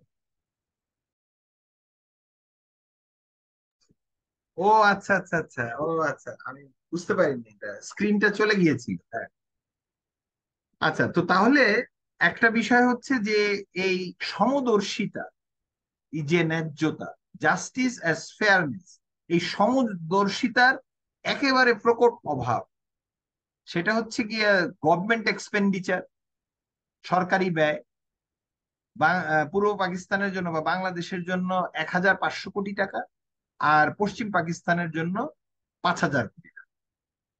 ডেভেলপমেন্ট এক্সপেন্ডিচার আমাদের বাংলাদেশে যেমন বাজেটের সময় এডিপি আছে না অ্যানুয়াল ডেভেলপমেন্ট প্ল্যান ওইরকম পাকিস্তানের যে ডেভেলপমেন্ট এক্সপেন্ডিচার উন্নয়ন ব্যয় যেটাকে বলে, সেইটা পূর্ব পাকিস্তানের জন্য বা বাংলাদেশের জন্য ছিল তিন হাজার কোটি টাকা আর ওইখানে পশ্চিম পাকিস্তানের জন্য ছিল ছয় হাজার আচ্ছা। ফরেন এইড ফরেন এইড মানে বৈদেশিক সাহায্য। বৈদেশিক সাহায্যটা ব্যয় করা হইতো পূর্ব পাকিস্তানে মাত্র টোয়েন্টি পার্সেন্ট আর পশ্চিম পাকিস্তানে ব্যয় করা হইতো হলো এইটটি পার্সেন্ট আচ্ছা। ইম্পোর্ট ইম্পোর্ট এই দেশের জন্য ইম্পোর্ট করা হইতো মাত্র টোটাল ইম্পোর্টের টোয়েন্টি ফাইভ পার্সেন্ট আর তারা পশ্চিম পাকিস্তানের seventy five percent job placement in central government job প্লেসমেন্টের দুইটা আছে, একটা হচ্ছে মিলিটারিতে মানে সামরিক বাহিনীতে, আর একটা হচ্ছে গিয়া কেন্দ্রীয় সরকার মানে পশ্চিম পাকিস্তানে যেটা। সেখানে পূর্ব পাকিস্তান থেকে লোক ছিল মাত্র পনেরো পার্সেন্ট। আর ওদের লোক তারা নিয়োগ দিয়েছিল সমস্ত সেন্ট্রাল গভর্নমেন্টের এইটটি ফাইভ পার্সেন্টই হচ্ছে পশ্চিম পাকিস্তানের সিটিজেন মিলিটারিতে আমাদের ছিল মাত্র দশ পার্সেন্ট, তাদের ছিল নব্বই পার্সেন্ট। আচ্ছা চালের দাম, যেই চালের অধিকাংশ উৎপাদন আমাদের এখানে যে এক মন চাল মানে চল্লিশ কেজি, এটা যদি এক ইউনিট ধরি, তাহলে এক মন চালের দাম ছিল তখন পঞ্চাশ টাকা এখানে আর ওইখানে ছিল হচ্ছে পঁচিশ টাকা। আটা, এক মন আটার দাম ছিল তিরিশ টাকা, আর ওইখানে ছিল পনেরো টাকা। মাস্টার অয়েল, সরিষার তেল। সরিষার তেল আমাদের এখানে ছিল পাঁচ টাকা কেজি, আর ওইখানে ছিল হচ্ছে আড়াই টাকা। তারপরে হচ্ছে স্বর্ণ। স্বর্ণ ছিল আমাদের এখানে খুবই কস্টলি। একশো সত্তর টাকা ভরি। আর ওইখানে ছিল একশো পঁয়ত্রিশ টাকা। তো আমার যেটা মনে হয়েছে যে এই যে যে পরিস্থিতি, এই পরিস্থিতি এবং এইখানে রলস এর আরেকটা কনসেপ্ট আছে, সেটা হচ্ছে যে প্রাইমারি গুডস এই প্রাইমারি গুডস এর অ্যালোকেশনটাও কিন্তু আনইকুয়াল ছিল এবং কোনো সেখানে ফেয়ারনেস ছিল না। কোনো সমদর্শিতার ভিত্তিতে, কোনো ন্যায্যতার ভিত্তিতে ছিল না। এরকম একটা সোসাইটিতে তো ইয়ে মানিক মিয়া পশ্চিম পাকিস্তানের এই বৈষম্যগুলো খুব খুব মানে একেবারে চাচাছোলা ভাবে উনি এবং খুব সাহসিকতার সঙ্গে তুলে ধরেছেন। আমার মনে হয় যে আমি সেই এই লেখাটা আমি আমার লেকচারের পরে যেই লেখায় ওনার এইগুলো আছে, সেটা আমি স্ক্যান করে পাঠিয়ে দিই। কারণ আমি একাই এত বেশি সময় নিয়ে গেলে, নিয়ে নিলে আমি আরও নির্ধারিত সময়ের চেয়ে দশ মিনিট, এগারো মিনিট বেশি বললাম তো আমার মনে হয় যে আপনাদেরকে আরেকটা বলতে পারি, যদি আমাদের মিটিং এ সিদ্ধান্ত হয় জাহিদ ভাই আছেন এবং ওনার যে মিটিং এ সিদ্ধান্ত, আমাদের একটা সমাপনী অনুষ্ঠান হবে পাঠচক্র শেষে। আমি এই পেপারটা লিখছি, এটা এখনও শেষ হয়নি। তাহলে এই ন্যায্যতা তত্ত্বের আলোকে মানিক মিয়ার যে প্রবন্ধগুলো, সেগুলো রেফার করে করে আমি স্পষ্টভাবে দেখাবো। কারণ এখন আমার আমার এই যে হাতে নোট আছে, এই যে লাল কালি দিয়ে, এই যে এতগুলা, এখন এতগুলা বলতে গেলে আমি নিজেই আটটা পর্যন্ত খরচ করে ফেলি। আপনাদের বলার সময় থাকবে। তো আমি এখানে থামি থামিব। হ্যাঁ আমি প্রশ্নের সাপেক্ষেও মানে আলোচনা কথা ধন্যবাদ সকল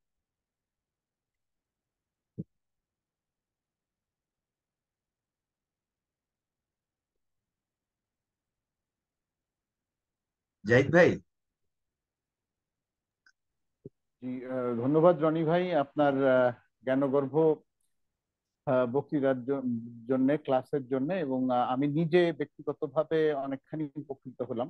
রাউন্ডসের যে বিষয়গুলো আসলো, আমি খুব মন দিয়ে শুনছিলাম। কারণ হলো এই বিষয়গুলো আসলে শুধুমাত্র যে অর্থনীতির সঙ্গে সম্পৃক্ত মানুষ বা বা রাজনীতির সঙ্গে সম্পৃক্ত মানুষের জন্যই দরকার। তা না, আসলে এটা আইনের সঙ্গে সম্পৃক্ত বিষয়াদির সাথেও খুবই গুরুতরভাবে সম্পৃক্ত।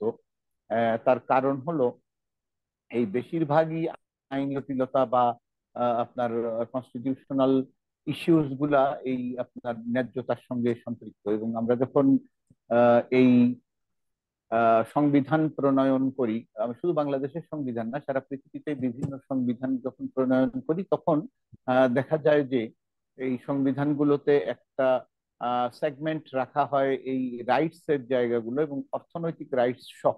অর্থাৎ মানুষের ন্যায্যতা যেন মোটা দাগে এনশিওর করা যায়, সেই এনশিওর করার বিষয়গুলো আসলে সংবিধানগুলো ধারণ করে সবসময়। এটা আমরা যদি ভারতের সংবিধান দেখি, বাংলাদেশের সংবিধান তো বটেই। এবং পাকিস্তান হোক বা ইংল্যান্ড, আমেরিকা, যে পৃথিবীর যে জায়গাগুলোতেই আপনার একটা সাংবিধানিক শাসন পরিচালিত হয়, এর সবগুলো জায়গাতেই এই বিষয়গুলো থাকে। তার মানে আপনি যে জায়গা থেকে বলছিলেন, সেটা প্রকৃত পক্ষে একটা সোসাইটির, সোসাইটি হয়ে ওঠা বা একটা রাষ্ট্রের রাষ্ট্র হয়ে ওঠার সঙ্গে সম্পৃক্ত। অর্থাৎ আমরা যেটা আপনি বলি রাষ্ট্র গঠন বা জাতি গঠন এই যে প্রক্রিয়াগুলো, এই প্রক্রিয়াগুলোকে যদি সুষ্ঠু এবং একটা সঠিক বন্দরে নিয়ে আসতে হয়, তাহলে নিশ্চয়ই ন্যায্যতা প্রতিষ্ঠা করতে হবে এবং সেই ন্যায্যতাটা শুধুমাত্র যে রাজনৈতিক ন্যায্যতা বা অর্থনৈতিক ন্যায্যতা আসলে তা নয়। এটা আপনার একটা সার্বিক ন্যায্যতা, আইনগত বা অধিকারের ফ্রিডম অফ এক্সপ্রেশন সবকিছুর ন্যায্যতাই প্রকৃতপক্ষে এস্টাবলিশ করার বিষয়গুলি আছে। এবং এইটার কারণেই আমরা দেখি যে রাউলসের মতো অর্থনীতিবিদ নন এইরকম ব্যক্তি। আবার অমর্ত্য মতো অর্থনীতিবিদ এইরকম ব্যক্তি। তারা সবাই কিন্তু ন্যায্যতার জায়গাটিতে আসতে চাচ্ছেন। অর্থাৎ বিভিন্ন ফিল্ডের মানুষ যারা যারা নিজ নিজ ফিল্ডে খুবই বড় তাত্ত্বিক হিসাবে সমাদৃত তারা সবাই কিন্তু ঘুরে ওই জায়গাটা থেকেই আসতে চান। আজকে আমি দেখছিলাম যে আমাদের অমর্ত্য সেন যে আত্মজীবনী লিখেছেন, সেইখানে উনি মার্কসের বিষয়গুলো যখন ব্যাখ্যা করছিলেন, তখনও কিন্তু ওই প্রসঙ্গটাই এসেছে যে সবাই ন্যায্যতার কথাটি বলার চেষ্টা করেছেন যে, আসলে ন্যায্য কীভাবে প্রতিষ্ঠা পাবে।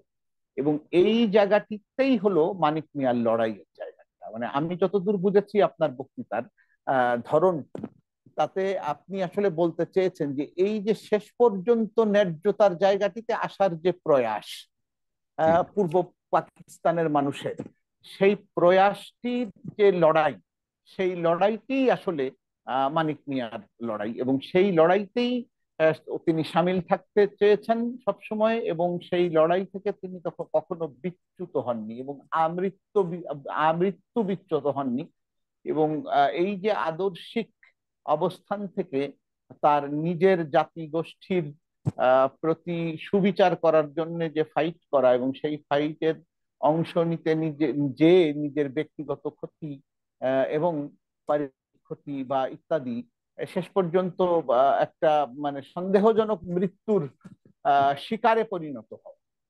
সেই সকল কোনো কিছুই তাকে বেসিক্যালি তার লড়াইয়ের জায়গাটা থেকে বিচ্যুত করতে পারেনি। সেই লড়াইটা কিন্তু আসলে এই ন্যায্যতা প্রতিষ্ঠার লড়াই। আপনি সুন্দর বলেছেন এবং ফ্লোর ইজ ওপেন। এখন যারা মন্তব্য করতে চান বা আরও কিছু যদি অ্যাড করতে চান সবার জন্য ফ্লোর ওপেন।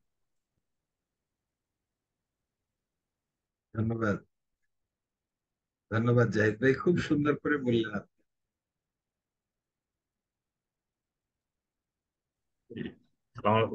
জি ভালো আছেন? হ্যাঁ ভালো আসলে আপনার কথাগুলো শুনছিলাম। খুব ভালো লাগল আসলে ন্যায্যতা জাস্টিস এইসব বিষয়গুলো আসলে খুবই মানে এই মানে প্রাত্যহিক জীবনেও চর্চার বিষয় আর কি মানে প্রত্যেকটা জিনিসের মানে ন্যায্যতা বিষয়টা।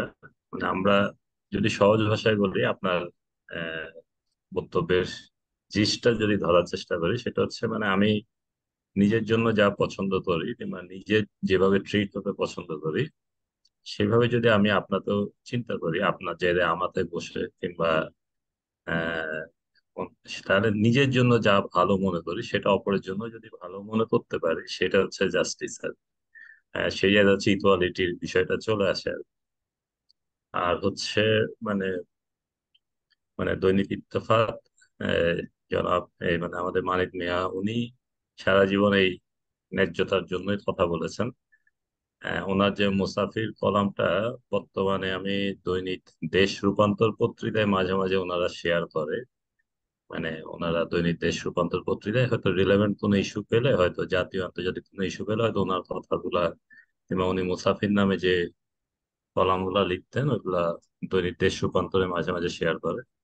আসলে ওই লেখাগুলোর মানে যখন আপনি পড়া পড়া হয়, তখন সে মানে ষাটের দশকে ওনারা যে চিন্তাগুলা করছেন মানে কিংবা আরও আগে থেকে এখনও মানে দুই হাজার তেইশ সালে এই যে প্রযুক্তিগত কিংবা বিজ্ঞানের যুগ, তস্যের যুগে এসে ওই প্রাসঙ্গিক বিষয়গুলোই আসলে রয়ে গেছে এখনও পর্যন্ত। মানে সমাজে এখনও বৈষম্য বিদ্যমান সমাজে এখনও অন্যায্যতা বিদ্যমান, সমাজে এখনও ধরেন নানান রকমের অসঙ্গতি বিদ্যমান মানে বিত্তবান বলেন কিংবা সম্পদশালীরা বলেন, তারা যেভাবে মানে সমাজের প্রত্যেকটা অধিকারতে শুধু তার নিজের অধিকার মনে করছে মানে আঠারো কোটি মানুষের অধিকার মনে করছে না, এরকম একটা প্রবণতা আছে আমাদের সমাজে যে মানে আইন আমার, পুলিশ আমার, পয়সা যেহেতু আছে আমার মানে এইরকম একটা ধারণার মধ্য দিয়ে এই সমাজ ব্যবস্থাটা আসলে এগিয়ে যাচ্ছে। এই সময় আসলে মানে বর্তমান আপনার এই মানিক মিয়া পাঠচত্রের আয়োজন করা দৈনিক ইত্তেফাকের সহযোগিতা এবং দৈনিক ইত্তেফাকের বর্তমান যারা মানে সম্পাদনা মন্ডলী আছেন যিনি মিসেস তাসমিমা হোসেন সম্ভবত আমি যদি ভুল না করি উনি মনে হয় অনন্য পত্রিকারও মনে হয় সম্পাদক যেটা একটা নারী মানে জেন্ডার নিয়ে সম্ভবত ওনারা কাজ করেন।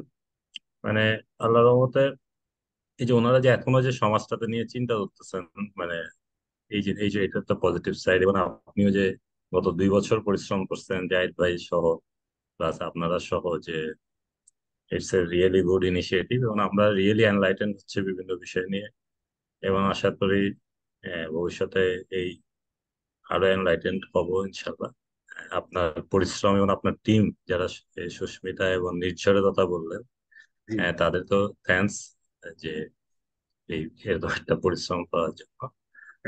So really thank you very much আসসালামু আলাইকুম।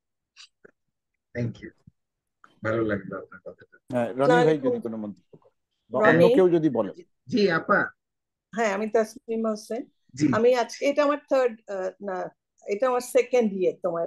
আমি মিস করেছি মাহফুজেরটা আর তার আগে আরেকজনেরটা আমার নামটা মনে নেই। ওগুলো ইউটিউবে আপলোড করে দিয়েছি। হ্যাঁ আমি জানি ওটা আস্তে আস্তে আমি দেখব বিশেষ করে মাহফুজেরটা। ওকে ধন্যবাদও দিতে হবে। আজকে একটা জিনিস আমার নিজের জ্ঞান জ্ঞান অর্জন হলো। তোমার রাউজের উপরে তুমি আগেও আমাকে পাঠিয়েছিলে অমর্ত্য সেনের ছোট ছোট ওগুলো আমি একটু একটু করে পড়ি।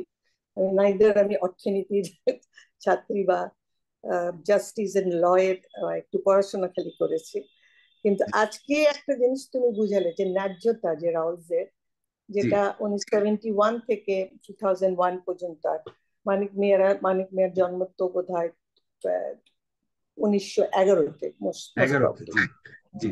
তো ওই সময়ের মানুষ বরিশালে পড়াশোনা করা বা পিরোজপুরে তার মধ্যে যে ন্যায্যতার একটা ধারণা অ্যাকচুয়ালি ওই সময় আমার বাবাও নাইনটিন ও নাইনে জন্ম করে জন্মগ্রহণ করেছিলেন তাদের মধ্যে যে শিক্ষা আমরা পেয়েছি which is right and wrong and সাদা এবং কালোর যে তফাৎ একদম পরিষ্কার যেটা আমরা খুবই মিস করি। তো সেই জিনিসটা তোমার কাছে আজকে একজন আমি জানি না রাউলস ইজ এন ফিলসফার আর অর্থনীতিবিদ বাট এত সুন্দর করে তুমি বুঝালে, তুমি তো একটা মাস্টার তো যেরকম করে ছাত্রীদের বুঝাও, তা আমি অনেকক্ষণ ধরে এসে শুনলাম। কিন্তু তার সাথে কম্পেয়ার করা তো মানে যেটা ডক্টর কাজ দুই তিন লাইনে করে দিল। সো আমার বয়সের জন্য আমি বুঝতে পারলাম, কিন্তু রাউলসের যে ন্যায্যতা তুমি বললে এবং তার সাথে যে আমরা সব সময় একটা কি বলে, কি যেন একটা শব্দ ব্যবহার করলে তুমি যে আমরা বৈষম্যটাকে বেশি ইয়ে করি, এই মুহূর্তে যে আমাদের ন্যায্যতার কি পরিমাণ অভাব এবং আমরা যে সবাই কিছুটা একটু কি বলব, ডিরেইলড হয়ে যাচ্ছে মানসিক দিক থেকে বিকজ অফ পলিটিক্যাল অন্যায্যতা এবং বক্তব্যের অন্যায্যতা এবং ভদ্রতা এবং to use the right word at the right place এটারও একটা ভীষণভাবে আমরা অভাব দেখছি। মানে শিক্ষার অভাব বলব না, মানসিকতার অভাব। তো সেইখানে এই যে তোমার নট অনলি মানিক মিয়া, তোমার যে যত তুমি ফিলোসফার দিয়ে কথা বলছো হবস অ্যান্ড রাউলস এটাকে নিয়ে একটা অন্যরকম আলোচনায় আমরা যেতে পারি। যে এই প্রযুক্তির যুগে শিক্ষার এত অগ্রগতির পরে, এত বেশি শিক্ষিত মানুষ হওয়ার পরে অমানসিকতাটা কেন আমাদেরকে ধরে বসছে? এবং অর্থর অর্থের পরিচয়ে সবাইকে পরিচিত হতে হবে, মানুষের পরিচয় নয়। এবং মনুষ্যত্ব সেখানে ইম্পর্টেন্ট নয়। এই শিক্ষা তো আমরা আমরা পাইনি যারা পঞ্চাশ দশকে জন্ম বা ষাট দশকে পড়াশোনা করেছে। তো অথবা আমাদের বাবা দাদারা যারা তখনকার দিনে সভ্যতার প্রথম দিকেই বলো, ব্রিটিশ আমলে, তো আমরা তো আরও অনেক সভ্য হয়েছি, অনেক বেশি প্রযুক্তি। তো সেটা মিসইউজ হচ্ছে না জ্ঞানের মিসইউজ হচ্ছে জানি না। বা তো এই জায়গাগুলোকে অন্যভাবে আরেকটা ডিসকাশন আমরা আনতে পারি। টোটালি মানে বিশ্বের বড় বড় মানুষরা কীভাবে চিন্তা করেছে এবং এই পাশ্চাত্যের মানুষদের চিন্তা দেখে আমরা একটা কম্পারেটিভ স্টাডি করতে পারি Bengal was always very different philosophical দিক থেকে। তো সেই জায়গাতে বেঙ্গল আজকে কি হয়ে যাচ্ছে? পশ্চিমবঙ্গ দেখছি পূর্ববঙ্গ দেখছি। যে what Bengal thought to what the India thinks today Bengal thought much before so এই কথাগুলো শুনে শুনে আমাদের আমাদের একটা আলাদা একটা অহমিকা ছিল। সেটা কিন্তু আজ কেমন জানি হারিয়ে যাচ্ছে। এইটুকু আমি বলব। অ্যান্ড থ্যাংকস টু ইউ যে তুমি অন্যভাবে আজকে আলোচনাটা আনলে। যে একটা কম্পারেটিভ স্টাডির মতন করলা। মানে আমার ভালো লেগেছে that's all thank you so much আপার আপনার সম্পর্কে যেটা আমার সবচেয়ে ভালো লাগে, আমার ওয়াইফকেও বলি, যে সেটা হচ্ছে যে এই যে মেয়েদের, বিশেষ করে যারা আমরা ছেলেরা আছি, তারা তো মেয়েদের যে বাধাগুলো অনেক সময় সবসময় রিকগ স্বীকৃতিও দেই না, বুঝিও না, আবার হেল্পও করি না।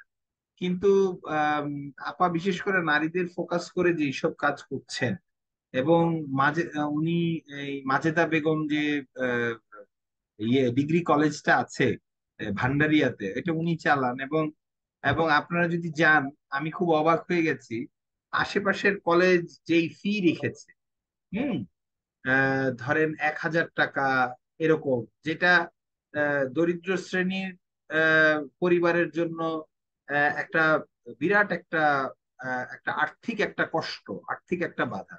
সেখানে আপা কিন্তু মাত্র ওখানে ভর্তি ফি নেন একশো টাকা।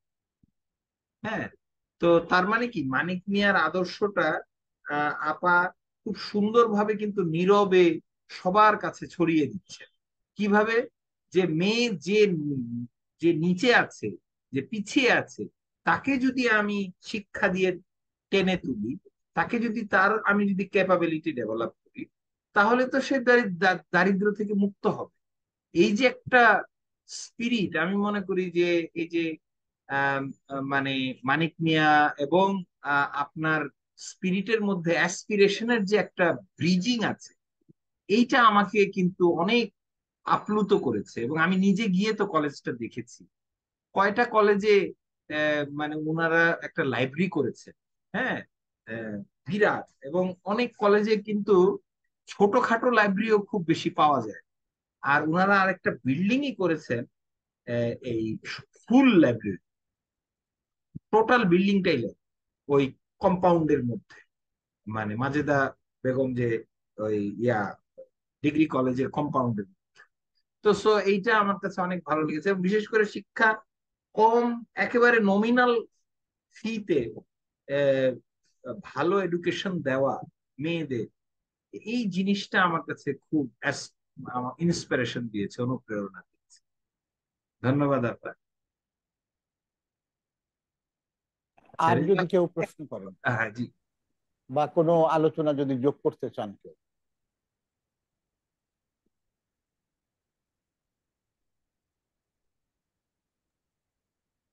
আচ্ছা। আর কি কেউ আছেন? আমি- জি জি, আমাকে জি। আচ্ছা বলেন। আসসালামু আলাইকুম রনি ভাই। আমি হ্যাঁ, আসলে হ্যাঁ। ভালো? এই মানিক মিয়া জি জি জি ভালো। এই মানিক মিয়া নিয়ে আমার ছো- মানে ইউনিভার্সিটিতে পড়ার সময় থেকে ফার্স্ট ইয়ার থেকে এই ব্যাপক একটা ফ্যাসিনেশন আর ইদানিং হচ্ছে এই ফ্যাসিনেশনটা খুব বাড়ছে কারণ আমি তো ধানমন্ডিতে থাকি যখন হচ্ছে আবাহনী মাঠের পিছন দিক দিয়ে যাই আপনার বাড়িটা যখন দেখি আমার যেন হ্যাঁ। কেন একটা বেশি আবেগটা কাজ করে? তখন আমি সেই ইতিহাসে ফিরে যাই ইন্টারেস্টিং আর আপনার এই প্ল্যাটফর্মটা আসলে আমাকে ইতিহাসে হাঁটার একটা সুযোগ করে দিয়েছে। আমি অনেক জ্ঞানীগুণীর কথা শুনতে পাচ্ছি আর আপনাদের সাথে একটা মত বিনিময় হচ্ছে।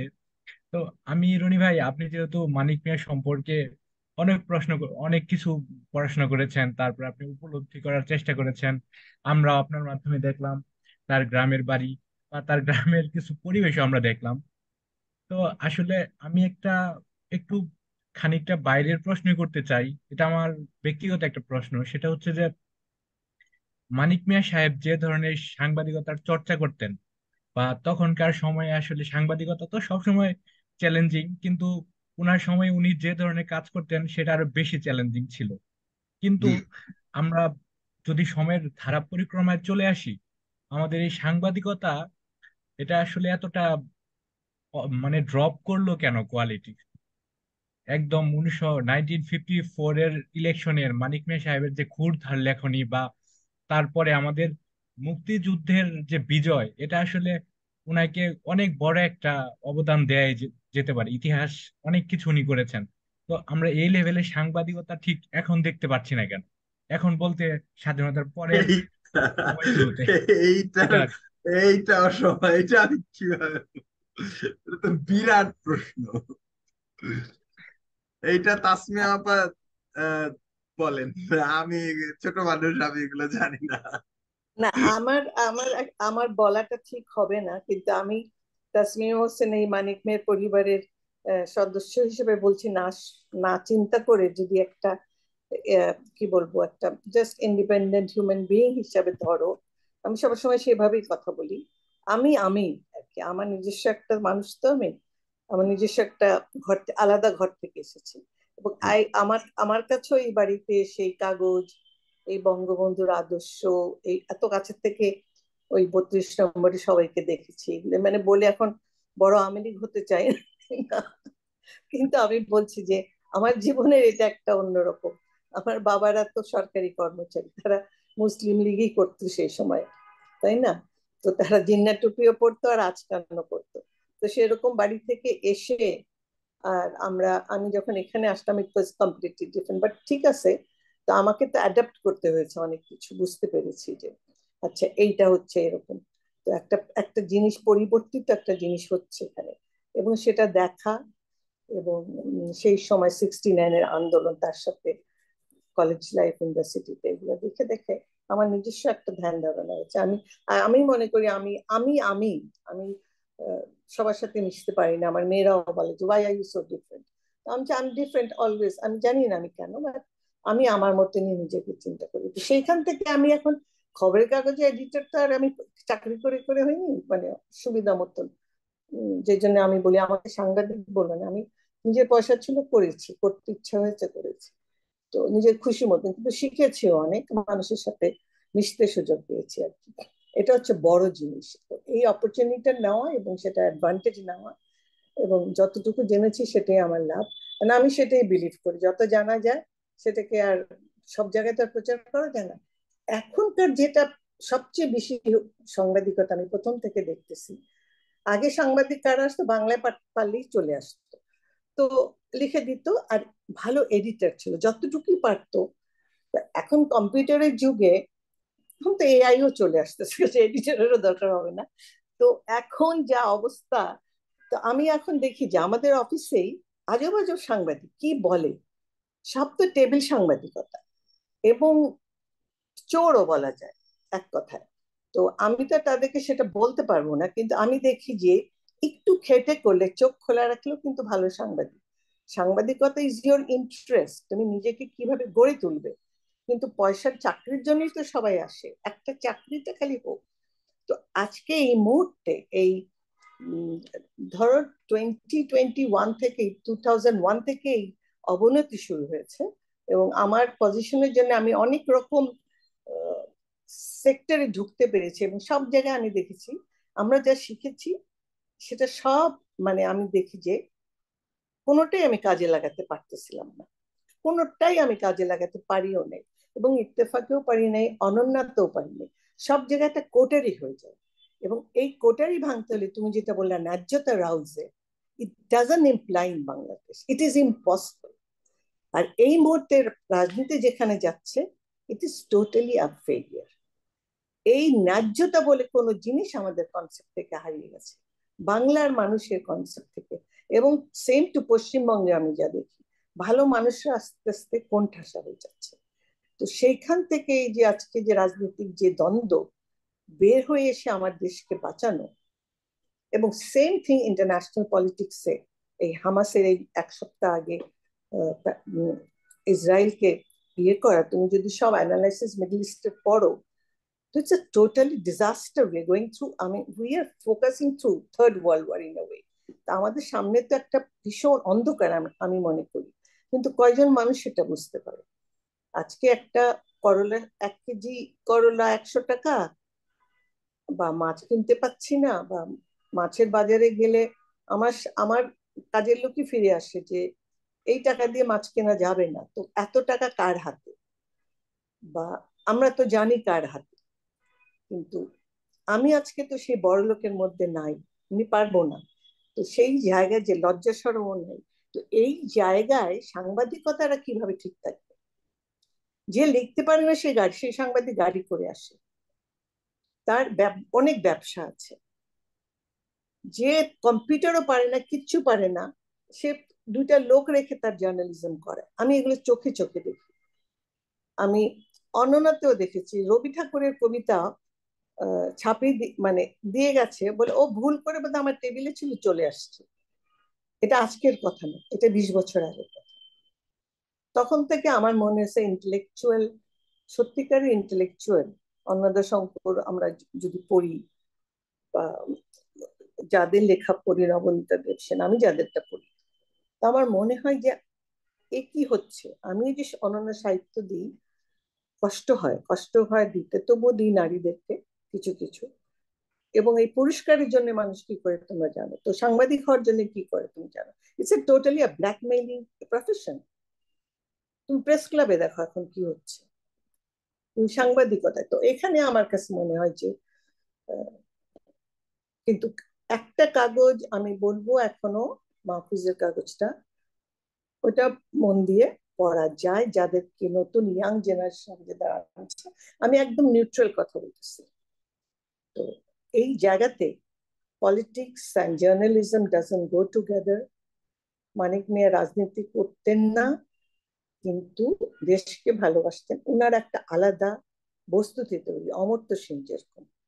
এরা আলাদা বস্তু দিয়ে তৈরি। আরও অনেকে আছে এরকম। তো কিন্তু ওই মানুষ আর নাই। তো we have we are going to মানে বিগ চেঞ্জ একটা বিরাট পরিবর্তন বিশ্বের পরিবর্তন আমাদেরকে অন্যভাবে তার মধ্যেও আমি দেখি আমার অনেকগুলো grandchildren there are difference আমার ওদের মধ্যেও ডিফারেন্স তখন আমি বুঝি যে যে যেভাবে ধারণ করতে পারে এবং সেটাকে যেভাবে কাজে লাগাবে, সেটাই বড় কথা। আমি কোন পরিবার থেকে এসেছি, আমি কোন বাড়িতে থাকি দ্যাটস নট ইম্পর্টেন্ট বারে বারে আমি বলি যে, মানুষটাকে দেখো, মানুষটাকে। সেই জায়গাতে আমাদের আসতে হবে। তোমার চারটা বাচ্চা থাকলে তার মধ্যে একটা, প্রত্যেকে ডিফারেন্ট সেইভাবে যদি আমরা মানুষকে জাজ করতে পারি ইচ ইন্ডিভিজুয়াল ইজ ডিফারেন্ট তার গ্রহণ করার ক্যাপাসিটি ইজ ডিফারেন্ট সেইভাবে আমাদেরকে আহ, এই তোমার মধ্যে এই ভালোবাসা। যে জিনিসগুলো আমি মানিককে একটু দেখি নাই, কিন্তু আমি যতটুকু শুনেছি, আমি ওই জিনিসটা এদের পরিবারের কারোর মধ্যে নাই। ভেরি স্যাড বিকজ ওগুলো জিনিস আমার মা বাবার মধ্যেও যেটা ছিল সেটাও আমরা নিতে পারিনি। কেন ওই জিনিসগুলো তখনকার মানুষের আদর্শে ছিল, তাদের আপব্রিঙ্গিং এ ছিল। ওই জিনিসটা আমি বলব যে, বেগম সুফিয়া কামাল যেরকম তার মতন তো আর সুফিয়া আপা যেটা আমি আমি ওনাকেও ছোটবেলা থেকে দেখেছি। তখনকার যাদের সাথে আমার আমার থ্রি ইয়ার্স ওল্ড পার্সন কাজে আমারও অনেক অভিজ্ঞতা। আমার হেডমিস্ট্রেস বাসন্তী ভূতাগুট্টাকে যেভাবে দেখেছি। আমি স্কুল চালাই কলেজ চালাই, আমার লজ্জা করে ভান্ডারিয়া কলেজের প্রিন্সিপালের সাথে কথা বলতে। ওরা সবাই মিথ্যা কথা বলে। স্ট্রেট ফরওয়ার্ড ওরা টাকা নিয়ে ভর্তি করবেই। আমি যাকে বলব সরকারি কলেজের আসে, শিক্ষা বিভাগ থেকে লোক আসে। আমি অবাক হয়ে যাই যে মানে কারও কোনো লজ্জা নাই। ওরা স্ট্রেট ভাবে টাকা নিবে এবং আমাকে ওরা আউটভোটেড করবে সেখান থেকে সরে আসতে হবে বিকজ তোমার স্যানিটি রক্ষার জন্য তোমার, তোমাকে লুকায় যেতে হবে। আমি সেই রকমই মনে করি। তার মধ্যেও রনি সাথে আমার অ্যাক্সিডেন্টালি দেখা হয়েছে। আমার মনে হচ্ছে একটু কাজ করতে চায়, করে। তাতেও যদি কারও সুবিধা হয়, সেই জন্যই আমার এই বাংলার পাঠশালার সাথে। কতদিন পারব থাকতে জানি না, কিন্তু আমি তাই মনে করি যে সবাই সবার রাস্তা, সবার রাস্তায় যেন সবাই না যায়, বিবেকটাকে একটু একটু একটু করে ওই ন্যায্যতা রাউজের থিওরি এখন এতদিন পরে পড়লেও আমি আমার লাভই হয়েছে। তো তো আমাকে তার কোট করতে হয় না সব জায়গায়, কিন্তু justice is missing from from Bangladesh না ফ্রম দ্য ওয়ার্ল্ড এই বলো ট্রাম্প নাকি বলো Biden thank you thank you thank you আর কি কেউ আহ, কোনো কিছু যোগ করতে চান? না হলে আমরা একটু শেষের দিকে আসতে চাই। আর কি। আহ, রনি ভাই কিছু যোগ করবেন? না আম, আপা আপার তো দীর্ঘ অভিজ্ঞতা। উনি তো উনার লিভিং এক্সপিরিয়েন্স থেকে বলেন। তো উনি খুব সুন্দর বলেন এবং খুব বাস্তবতার আপার এই জায়গাটাতে আমি একটু মানে একটু সামান্য কমেন্ট করব। আসলে কমেন্ট ঠিক না মানে বলা যেতে পারে যে একটা ছোট্ট সাম আপ করব এই লোকটা আসলে সামলানো যাচ্ছে না। আহ, তার কারণ হলো আপা এই পর্বে যে এই মানে দ্বিতীয়বার যে বললেন তার আগে প্রথমবার যখন বলছিলেন আহ, ওখান থেকে আমি দুটো শব্দ আসলে নিতে চাই। আহ, সেটা আমি আগেই বলতে চাচ্ছিলাম কিন্তু পরে যেহেতু মানে অকেশনটা একটু দেরিতে আসলো সেটা হলো আপা একটা কথা বলছিলেন ষাটের দশকে যেটা মোদ্দা কথাটা আসলে। আপনি আপনার আলোচনার মোদ্দা কথাটা। সেটা হলো যে তখন যে মানুষেরা ছিলেন ওনার বাবা অথবা আমাদের যে অতীত বিষয় মানিক মিয়া ওনাদের যে মানে বড় হয়ে ওঠা বা আদর্শের জায়গাতে স্টিক করা সাদা সাদাই কালো কালোই এই হ্যাঁ। যে দুই এই যে জায়গাটা সেইটা থেকে আমরা আসলে আহ, স্বাধীনতা উত্তর সময় সরে গেলাম কেন? সেটা একটা বড় চিন্তার বিষয়, শুধু না, এটা একটা বড় গবেষণার বিষয়। বটে, যে হলো কি? যে জন্য কেন আমি এই কথাটা বললাম? কারণ মানিক মিয়ার আমি যখন বোধহয় আমার ওইটাতে ছিলেন না। যে দুটো উনি মিস করেছেন, তার একটা সম্ভবত আমারটা। সেটা আমার দুর্ভাগ্য। তো সেইখানে, ওইখানে আমি বলতে যে, ওইখানে পেয়েছিলাম একটা কথা, সেটা হলো যে মানিক মিয়া বলছিলেন ওই সময়ে যে সেটা হলো যে বঙ্গবন্ধু যে বাণিজ্য সম্পর্কে বললেন যে, যৌক্তিক কারণেও তিনি মিথ্যা বলতেন না। মানে যদি মিথ্যার ব্যাপার আসতো, সেটা যে কারণেই হোক উনি কখনো বলতেন না। এই জায়গা থেকে শুধু সাংবাদিকতা না এজ এ আপা বললেন যে আমাদের ইভেন শিক্ষকরাও। মানে আমরা এজ এ হোল সরে গিয়েছি। সেটা একটা বড় ডিজাস্টার আমাদের জন্য হয়েছে যে, মিথ্যার কাছে যে আশ্রয় নেওয়া, সত্যের বদল। সেইটা একটা বিষয়। সেটা ওনারা করতেন না, ওনারা সাদাকে সাদা। আর একটা বিষয় যেটা আপা বলছিলেন, সেটা মানিক মিয়া নিজেও বলেছিলেন। আওয়ামী লীগের আটষট্টি সালের যে আপনার উদ্বোধনী অনুষ্ঠান কনভেনশনের বক্তৃতা দিয়েছিলেন, ওইখানে কিন্তু উনি বলেছিলেন যে, আমি কোনো রাজনীতির সঙ্গে সম্পৃক্ত না। এবং ওইখানে উনি খুব স্পষ্টভাবে তার অবস্থান পরিষ্কার করেছিলেন এবং বলেছিলেন যে কখনো যদি এইরকম অকেশন হয় যে আওয়ামী লীগকে সমালোচনা করার দরকার হবে, সেটাতেও উনি কিছু পা হবেন না। এই ইঙ্গিত কিন্তু ওনার ওই বক্তৃতায় ছিলেন। তার মানে আলটিমেটলি সাংবাদিক হিসাবে যে কথাটা আসলো যে আমাদের সাংবাদিকরা কেন এরকম এখন মানে আমরা কেন ওইখানে নাই? সেটা আমরা আসলে ওনাদের এই দুই পক্ষের যে পার্থক্য, সেইটা রিড করলে আসলে একটা গবেষণা করে দেখতে পারি। আর আর একটা কথা শুধু ওই আপার কথা সূত্র ধরে আমি যোগ করে দিতে চাই। সেটা হলো যে পঞ্চাশের দশকে যখন আওয়ামী লীগ বা যুক্তফ্রন্ট ক্ষমতায় গেল, পঞ্চাশ বছর চুয়ান্নর এই জায়গাটাতে, মানিক মিয়া বলছিলেন যে, ওই সময়ে বাক স্বাধীনতা ইত্যাদির যে একটা পরিবেশ তৈরি হয়েছিল সেইটা কিন্তু একটা মোটামুটি বেশ মানে খুবই অনন্য একটা পরিবেশ ছিল, ওই দুই বছরের মতো সময়। সেইটা আমি এই জন্য মেনশন করলাম যে সেভেন্টি ওয়ানের পরে, আমাদের মুক্তিযুদ্ধের পরে আমরা কিন্তু ওই রকম একটা পরিবেশ পাওয়ার কথা ছিল আমাদের। যে একটা স্বাধীন দেশ পেয়েছি যেটা আমাদের দেশ, যে দেশকে আমরা একটা দীর্ঘ লড়াইয়ের পরে পেয়েছি।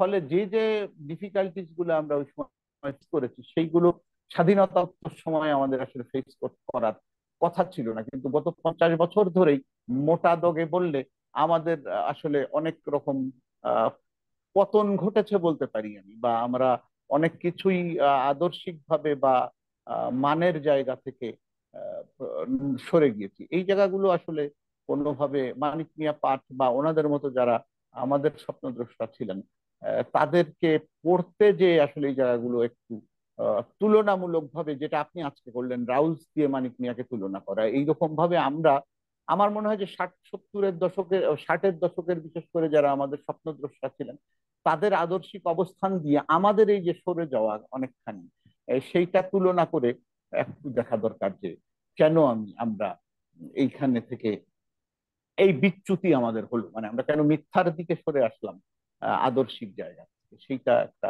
আহ, একটা ভালো আহ, কাজ হতে পারে। আমি যারা আজকে জি প্লিজ জাস্ট এক মিনিট একটু বলব সেটা। সরি আপনার শেষ তো? হ্যাঁ আপনি বলেন তারপরে আমি শেষ করি।